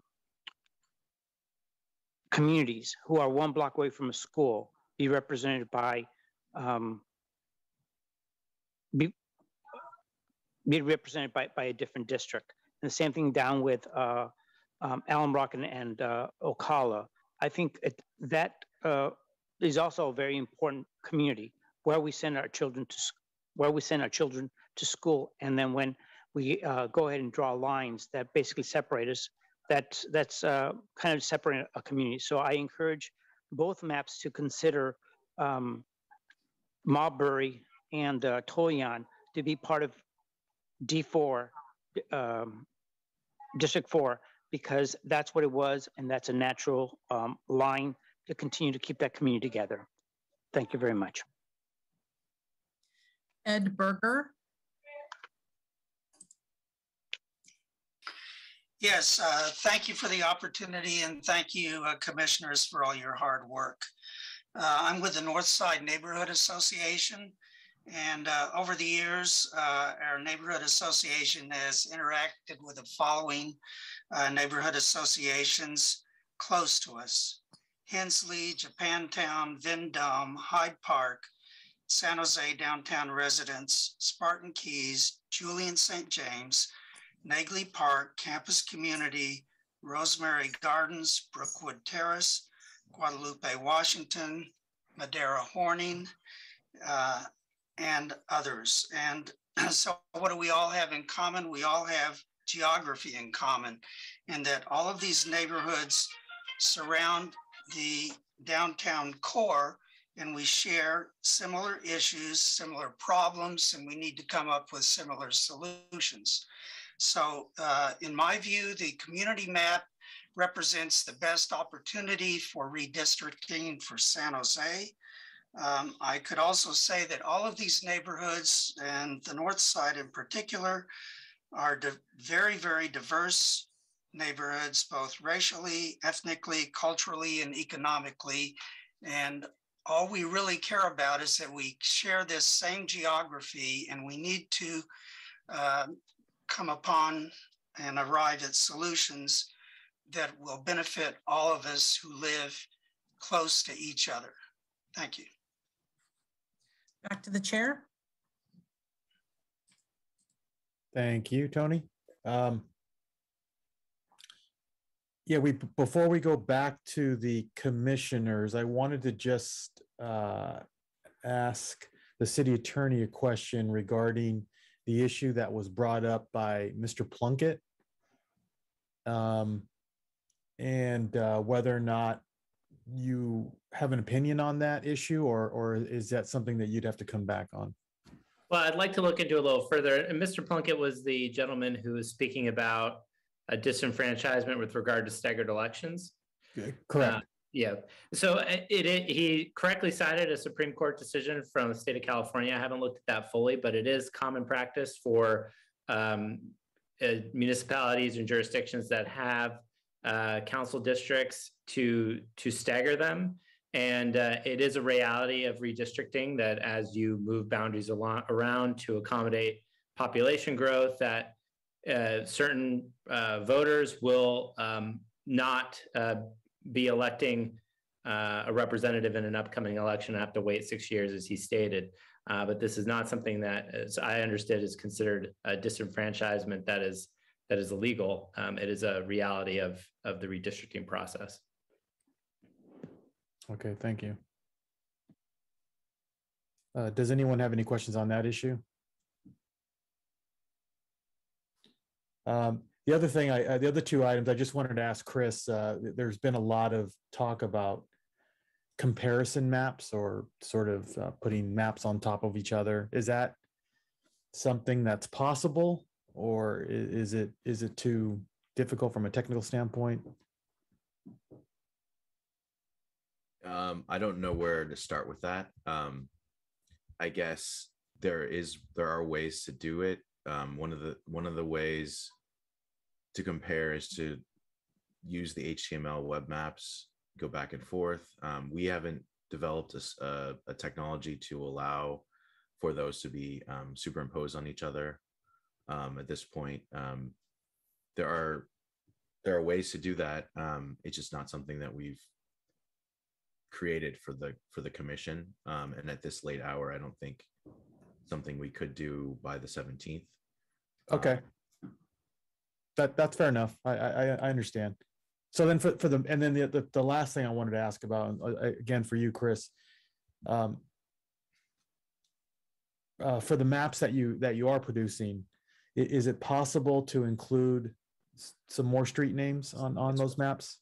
yeah so the pdfs are there for overviews um the web maps are there to zoom into street level and com- and make comparisons so that's the point of the web maps um that we've provided with each of these variations um if you wanted to have street line street names you would probably need to develop a map that was maybe 30 or 40 feet by 30 or 40 feet to be able to get the entire city of san jose and all of its streets um, on a map so Yeah. it's just not it, it you know you always have to make choices with maps and we've um, focused on neighborhood lines and major you know freeways and major major streets for the pdfs and then the, the web maps are really designed for exactly that so you can zoom all the way in to almost see where your house would be and zoom all the way out to see the whole this whole map so it it gives you that granular ability to um, to look at a map and make sure that the dividing line is right for your neighborhood or for your your community Okay, uh, that, those are the only sort of points I wanted to make before we uh, tossed it back to the uh, commissioners here for discussion. Uh, Commissioner Sidbury? Hey, um, no, what I was gonna, uh, speak on was what you just stated, the street names and, an overlay. Um, I would like to see, um, if it's possible, to bring back up, uh, District Seven to make sure that we, we're clear on, um, Goodyear Mastic, because I, I think, uh, it was, cons- that was gonna be moved out. Or it was moved out of District Seven. And if, if Chris can do that real quickly. yeah i mean the the change that's Chris, I, I was just gonna say, but before you do that, uh, I, I just wanted to go to Commissioner Fathom real quick to see if he had questions on, on those three items that I brought up. I- I do, thank you. I think um, what I'm seeing is, I think what the confusion was from hearing everybody saying about the street names and so forth is earlier on, we had the web versions the link to the web versions of the maps uh, that were attached to the agenda.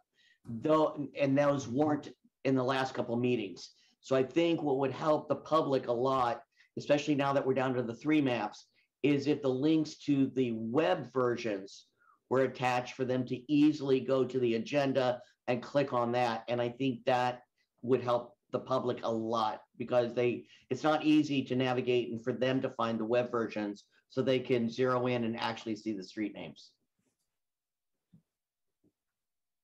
That is true. I think uh, that's an, a great suggestion.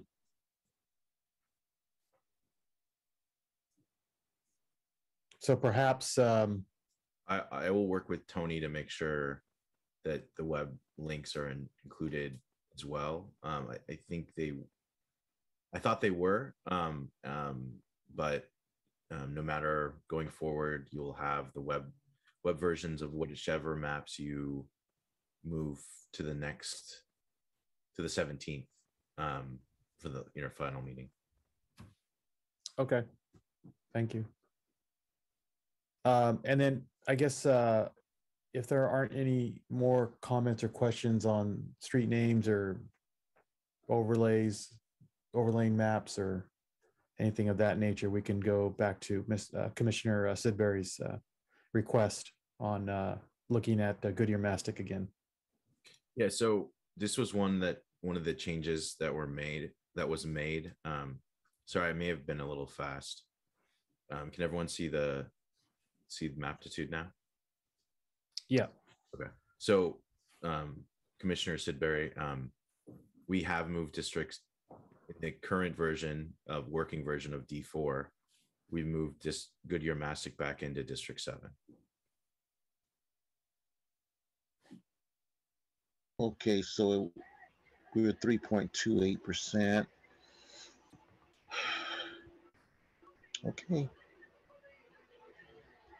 And right. again, just to like reset everybody. Um, currently, this is not a legal map. District six is seven percent over or under.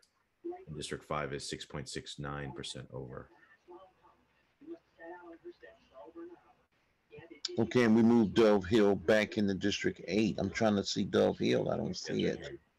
Yeah, I got it. I see it now. Okay. Okay, So it is. yes, got it. Okay, and you know what, you know, with the influx of, of, citizens in the various districts, your population is going to change. And I think someone spoke to that, uh, one of, uh, uh, individuals that came on to make a comment that that's something that we really need to take into consideration is that we're going to have to somehow or another make some adjustments as to um, how these lo- uh, lines are going to be drawn because you know uh, with the increase of population in a lot of these districts uh, to make things balance out uh, you may have to break into some of these other districts to make it uh, feasible to um, give each person or each district an equal share. I know that Commissioner Martinez was concerned about the Latino vote uh, in District Five, I think it was. Uh, correct me if I'm wrong. He, um, you know, we want to make sure that um, when we discuss these things about moving these lines, let's just make sure that uh, we also include in that conversation uh, the uh, breakdown of the populations, the various groups. So that's just my comment. And I thank you for bringing up Chris District 7 again to give me a clear picture because I'm taking notes as we speak. Wait, And one more thing. Um, will this map, once we finish tonight, will it be available tomorrow on the website? I'll try to export it tonight. So and Okay. and then she'll get it up. I'm sure as fast as she can. Okay, thank you. So uh, yeah, I just want to point out something that Chris just said that this map technically isn't legal right now. So that. There, there, there, we, we need to do some work on this map. And um, I see that Commissioner Alvarez has her hand up. And so um, you have the floor, Commissioner Alvarez. Yeah, I'm, I was exactly going to say what you're saying. It's not a legal map and that's my concern. That we have to address that issue, what, what it'll take to make it legal, because I know our numbers in seven and five, they're still up there.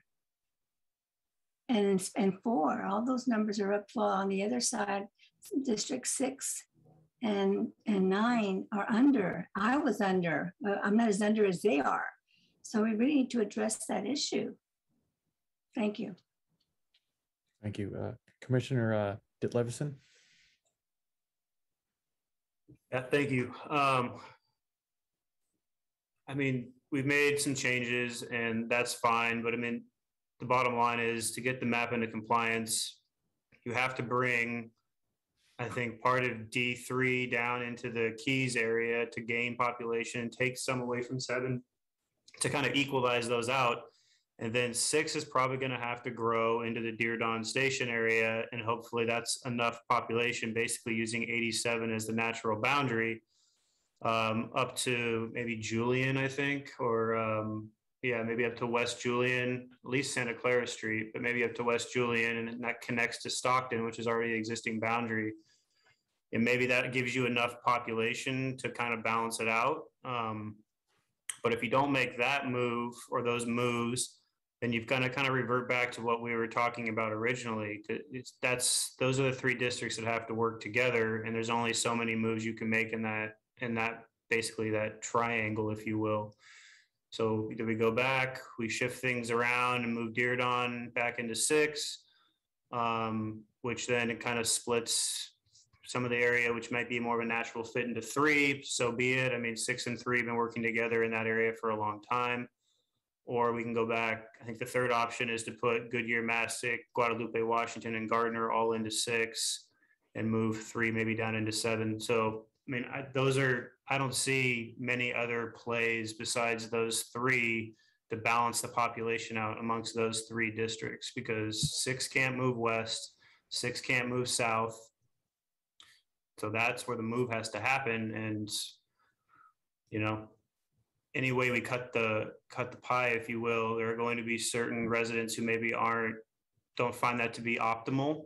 Um, but we're trying to achieve the least amount of disruption possible while keeping neighborhoods together and not diluting their voice. And so I think one of those three moves are the, are the moves we should make. And again, I'd welcome the feedback from District 3 and District 7, but if we're going to move this thing forward, we kind of have to come to a consensus, make the move, and kind of move on, I think.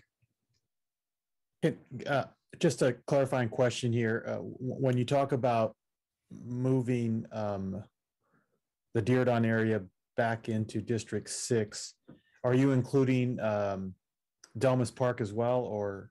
or yeah, I think you have to for purposes of the population balance because of how imbalanced we are right now. You're going mm-hmm. to need to include those residential neighborhoods that are in that portion just west of 87. Yeah, right in there.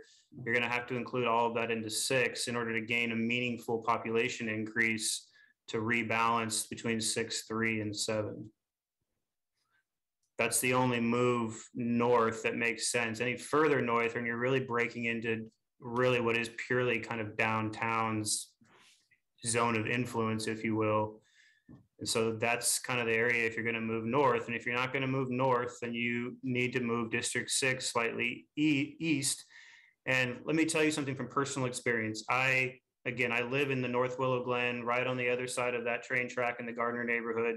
I drive through Gardner, I cut over through the Guadalupe, Washington neighborhood and come in downtown to my office every mm-hmm. single day. There's a VTA stop. Those neighborhoods do share some commonalities, and the populations in there are changing a little bit, I guess, as some of the overflow from Willow Glen spills into those neighborhoods. So while it hasn't been a natural fit, I don't think if you keep them together, Goodyear Mastic, Guadalupe, Washington, Gardner, North Willow Glen, there is some definitely some unity of interest that would respect those neighborhoods without splitting them into three districts. But again, if you want to keep them in their original districts in three and seven, you got to move north into Diridon. That's the only move. Um, Commissioner Berrigan? I like to support uh, Andrew's theory there with the Delmas Park into Diridon. We could have Chris explore that change. Sure. So would you want to move um north to Santa Santa Clara or well here let me show you to Santa Clara and then we can go farther. Let's try uh, just south of Santa Clara Street for now. Yeah, I agree. So here's Santa Clara. Yep. um, And the 87. Yeah. Um, and so this gets this gets um six to negative four um point seven. So you'd still need, I think, to bring district like the district three and four, three and five down. Um, reduce it- their populations, but this would get you, you know, part of the way there. Yeah, I mean, I think that move, and then because you can rebalance a tiny bit of six with nine, right? I mean, there are a couple of Yeah, yeah. streets maybe on the southern border where you could unify Cherry, or you could pick up, you know, a percent, right? And maybe nine goes to two and a half, and six Right. comes down to three and a half. That, yeah, right. So somewhere along there, I'm not suggesting anything specific right now, but that would be an easier kind of move to make to rebalance the population, if you will, coupled with the Diridon move, and then we can leave the things that we've already done in, in three and seven. So, I mean, if, that was, is something that could be explored, then, you know, I would look for some input from nine as to where he think the ideal place to maybe pick up a couple of census tracks would be on that southern boundary. Yeah, and I don't. I think that would create a real problem because those are old neighborhoods that have of communities of interest that have been together for a long time, and that would create problems. Plus, uh, nine's already negative. Uh, then we would become even more negative to have to, and then it would be like a domino effect instead of just trying to look at the overpopulated zones at this point. But Yeah, I, I think the purpose though is to balance the underpopulation, right? That's where, if we get it down to this number, it's about sharing the underpopulation, for lack of a better term, in order to prevent the fracturing of what I've, what we've been told are areas that share a very strong unity of interest that may have even a, a more uniform ethnic background. Um, in the neighborhoods up in the corner we were just talking about between three, six, and seven. So I mean, that's it's kind of a well, if we can move a couple of streets or a couple of blocks here in order to prevent breaking up this whole group while maintaining the deviation and sharing some of the underpopulation, that may be the more sensible move. I'm not submitting that it, it is for sure, but that's I think something that would be easier than trying to do all these very weird moves that we were kind of exploring earlier and then going into the east side and taking Las Plumas and doing all those things. So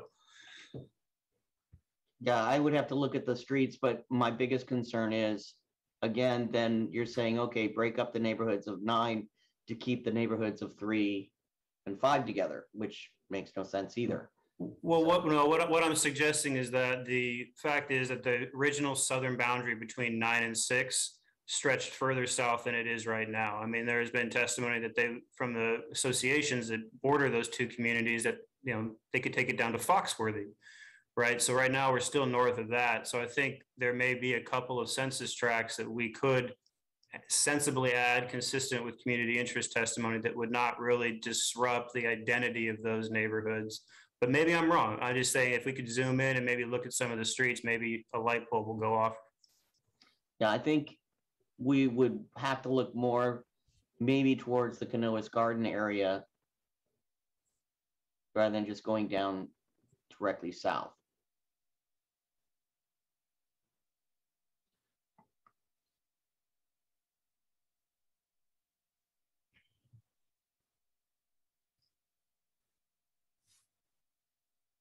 Yeah, I mean, we could, you could certainly try to do that. You know, the, the only thing that I'm concerned about is that how much population you're going to take. If you want to keep that area together, you may not be able to make as small of moves, but you can certainly can certainly explore that too.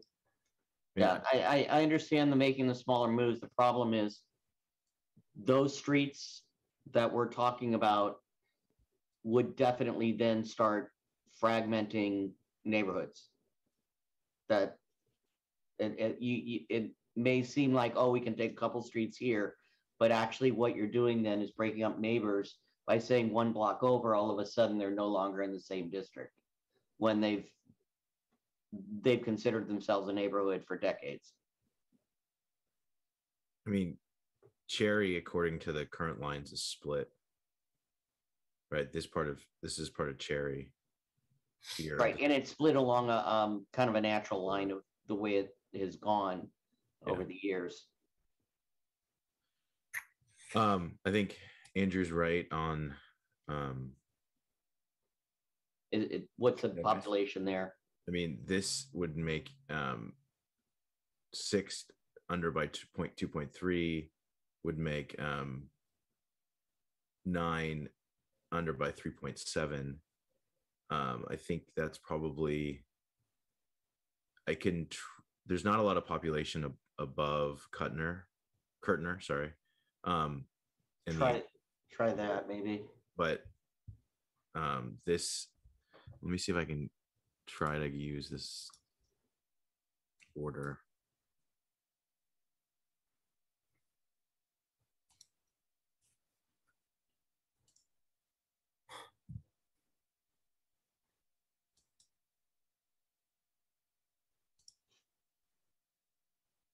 yeah that's too big okay so i mean i think wow that added no, okay. So yeah, so this change would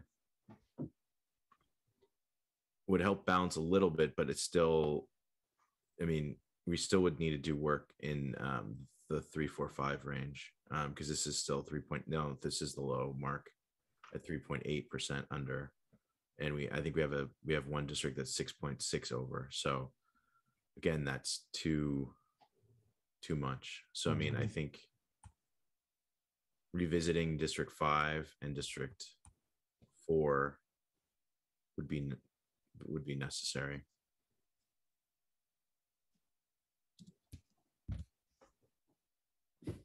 Uh, Commissioner Alvarez.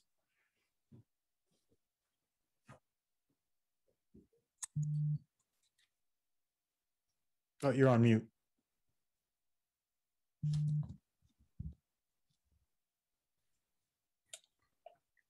I agree with, uh, with the fact that we do have to look at the higher and higher density.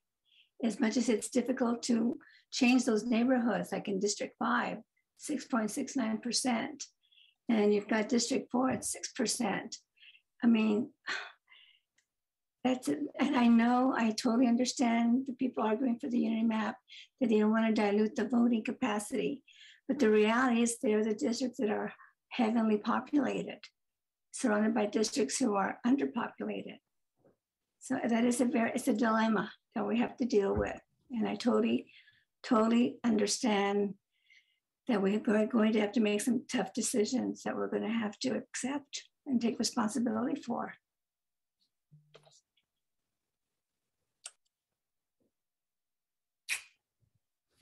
My concern with making additional changes to, to, to this map is that we're just propagating issues. It, how, how do folks feel about just, I guess, backtracking from the changes we've made so far and go back to our D4 that we started with tonight?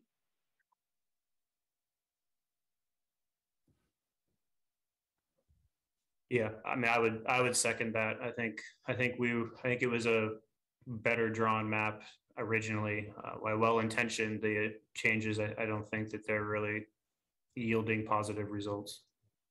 I, I would agree with Andrew, and it would put it back into compliance. By making the changes we did tonight, we took a map that was in compliance last meeting, and now it's out of compliance. I would agree that we go back to the original map, uh, particularly you know, the, the changes here that are dropping that Latino plurality uh, in D5 are, are going to be a real problem we're going to hand to the city council if we leave it that way. So we need to really look hard at some of this discussion that we had because we're, we, you know, like we keep talking about little Portugal, but there's still a Portuguese population. That's a Latino population. It's a business zone up and down a street. But, and so anyway, it's, I think uh, we, we really just need to go back to the original map and let um, Mr. Chafee take a look at the suggestions being made and really lay out the numbers because just a drop in the plurality in the east side is going to be a real conflict. I mean, it's going to be an, it's going to be a battle. That's all I can say. Thank you.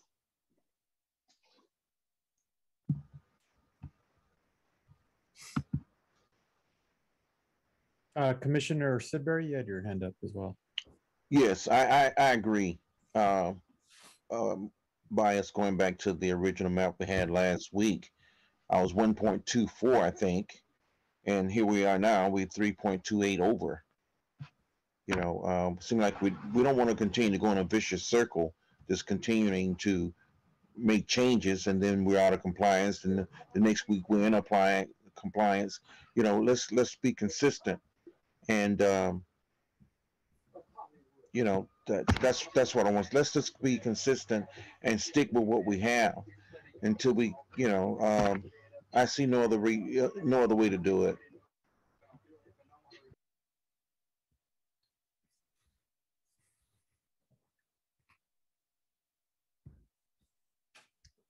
Uh, oh. Uh, Co- Commissioner Martinez, you have your hand up. Is that? No? Oh, okay. Okay, is there, uh, I mean, it was somewhat of a motion made, um, but uh, do you want to officially, uh, someone want to officially make a motion on that one? Actually, that's what I was just about, that's what my hand was raised for. I would, Oh, Okay. I would move that we uh, return to the original D4 map that we had concluded with at the last meeting. And then we have the unity and the community map. And if Chris can then, for our next meeting, somewhat, we then look at those three maps to see if there's any way. We're not gonna be able to please everybody, unfortunately. I think Commissioner Alvarez was right.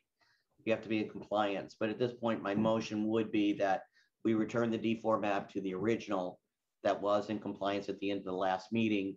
And then we uh, consider that along with the community and the unity map going forward. I second that. And one um, point of clarification, that's community map 4.0, number 77136. Yes, that's my understanding. The Yeah. one that they presented tonight. And then the unity map, the new unity, unity map that they presented tonight as well. Yes. Okay. Thank you. Can I, can I just make one, one comment before we vote on, on the motion? Um, So I just want to understand like the procedure here. We've got to the end of the road, I think, more or less. We're making, we're going back to the original D4. Maybe we'll make a few tweaks, maybe not, before the night's over. We have the community map, we have the unity map. I mean, are we at a place now where we can give instructions to the community map makers and the unity map makers to present their final versions so that we can vote next week? I mean, there's been, there was basically very minimal changes made to both maps. Wasn't a lot of feedback given from the commission, none on the unity map, very little on the community map. I think we can get a final version and next meeting, receive the rest of our testimony and let's, let's vote and move this to the city council. I don't, I don't see any reason to drag this out any further. I agree. Yeah, yeah, I just wanted to get, I, I totally understand where you're coming from, Commissioner. I just wanted to get clarification from, uh, from the city attorney's office. Um, my understanding is that, and again, I, this is just my understanding that, um, um, that in order to give the public an an adequate time period to review sort of final, quote, final maps that we're considering that I think we'd have to have those maps in place um, at least seven days before our, our next meeting. 72 hours. That, uh, I believe that requirement's been waived um, because of the, uh, the short time period to complete redistricting. Uh, Just so that the commission also knows that the council, once it gets the recommendations from, from the redistricting commission, is going to have to host a number of public meetings themselves, at least three, before they can adopt the final maps. Okay, great. Thank you for that clarification. Very, Sure. very much appreciated. So if I could just offer an amended motion to what Commissioner Fadum offered, I would, I would amend and move that we instruct the, the map makers who we've selected to submit their final maps for consideration at our next public hearing with the intention at that hearing to actually put those maps to a vote on which ones or all of them will advance to the city council for final map drawing. I would second that motion as amended. So just a point of clarification, we would allow them to submit the maps. Final. But would, but would we allow them to, to do presentations again on the maps? I- I would suggest adopting the procedure that you suggested, uh, Mr. Chair, and limit an- presentations to any changes that were made from this version, as well as limit those presentations to no more than five minutes each. Mhm, mhm. Okay, Agreed. Yes. This is. Toni, this is Toni Taber, City Clerk. Um, I would assume that we're going to limit map presentations to just those two, no new map presentations. correct. Okay, It's the three. Well, the, th- well, obviously let Mr. Chafee do his Right. presentation. One, one other, no, no, I, yeah, I just mean no. Yeah, no, I, um, I, no, I'm just, Yeah. I'm just kidding, Toni. Yeah, one other thing, eh, um, if they could get me or provide the clerk, um, final, like either a Districtr link to their final map or a shapefile for their final map, um, two days prior, or I don't know, some, before the meeting, not the day of, I can have them ready. So we, if you wanted to, we could make changes to that, those final maps. Okay. Well, I think uh, maybe I think I heard uh, I think it was Commissioner Alvarez mentioned something about 72 hours. How about 72 hours prior to Mhm. our next meeting? If somebody Second. wants to, I'll move, I'll I'll amend the motion further and add the seventy-two hours in advance. Please submit them to the city clerk for uploading by our consultant. and then that has to be okayed by the person who second, I believe, the original motion. Is that I, I agree. okay?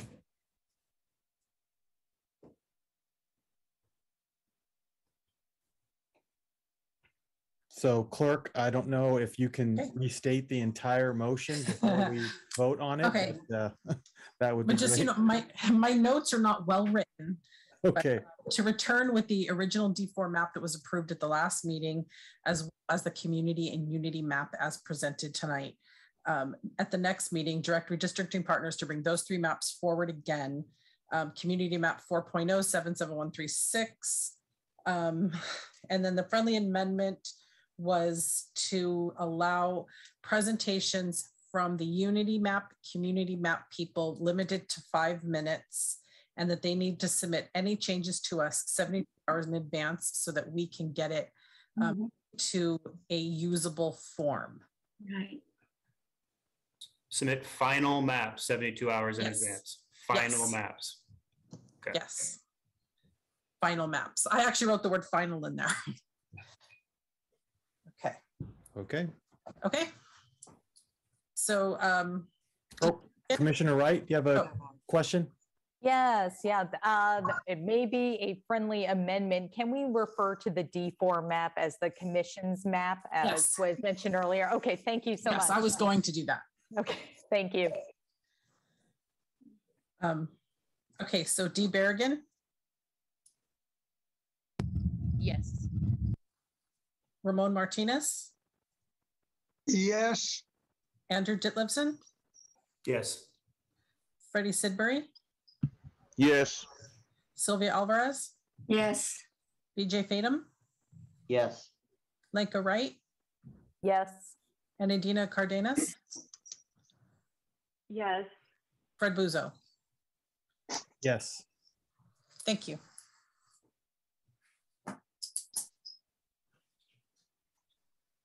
And because this is a special meeting, we have no open forum. Right, we have no open forum, that's correct. So I, I don't know, um, and then we, we can technically, we can continue to do work if you'd like, or we can uh, adjourn at this point. Um, it looks like maybe we have, uh, uh, Mr. Chafee has uh, instructions on, on moving forward. And uh, we're certainly going to have to do a lot more work uh, pri- even prior to our next meeting and, and looking at the maps that are submitted. So, I mean, if, if there aren't any objections, I would, uh, I would adjourn the meeting. No objection. Well, thank you, everybody. Thank you. Good night. Night.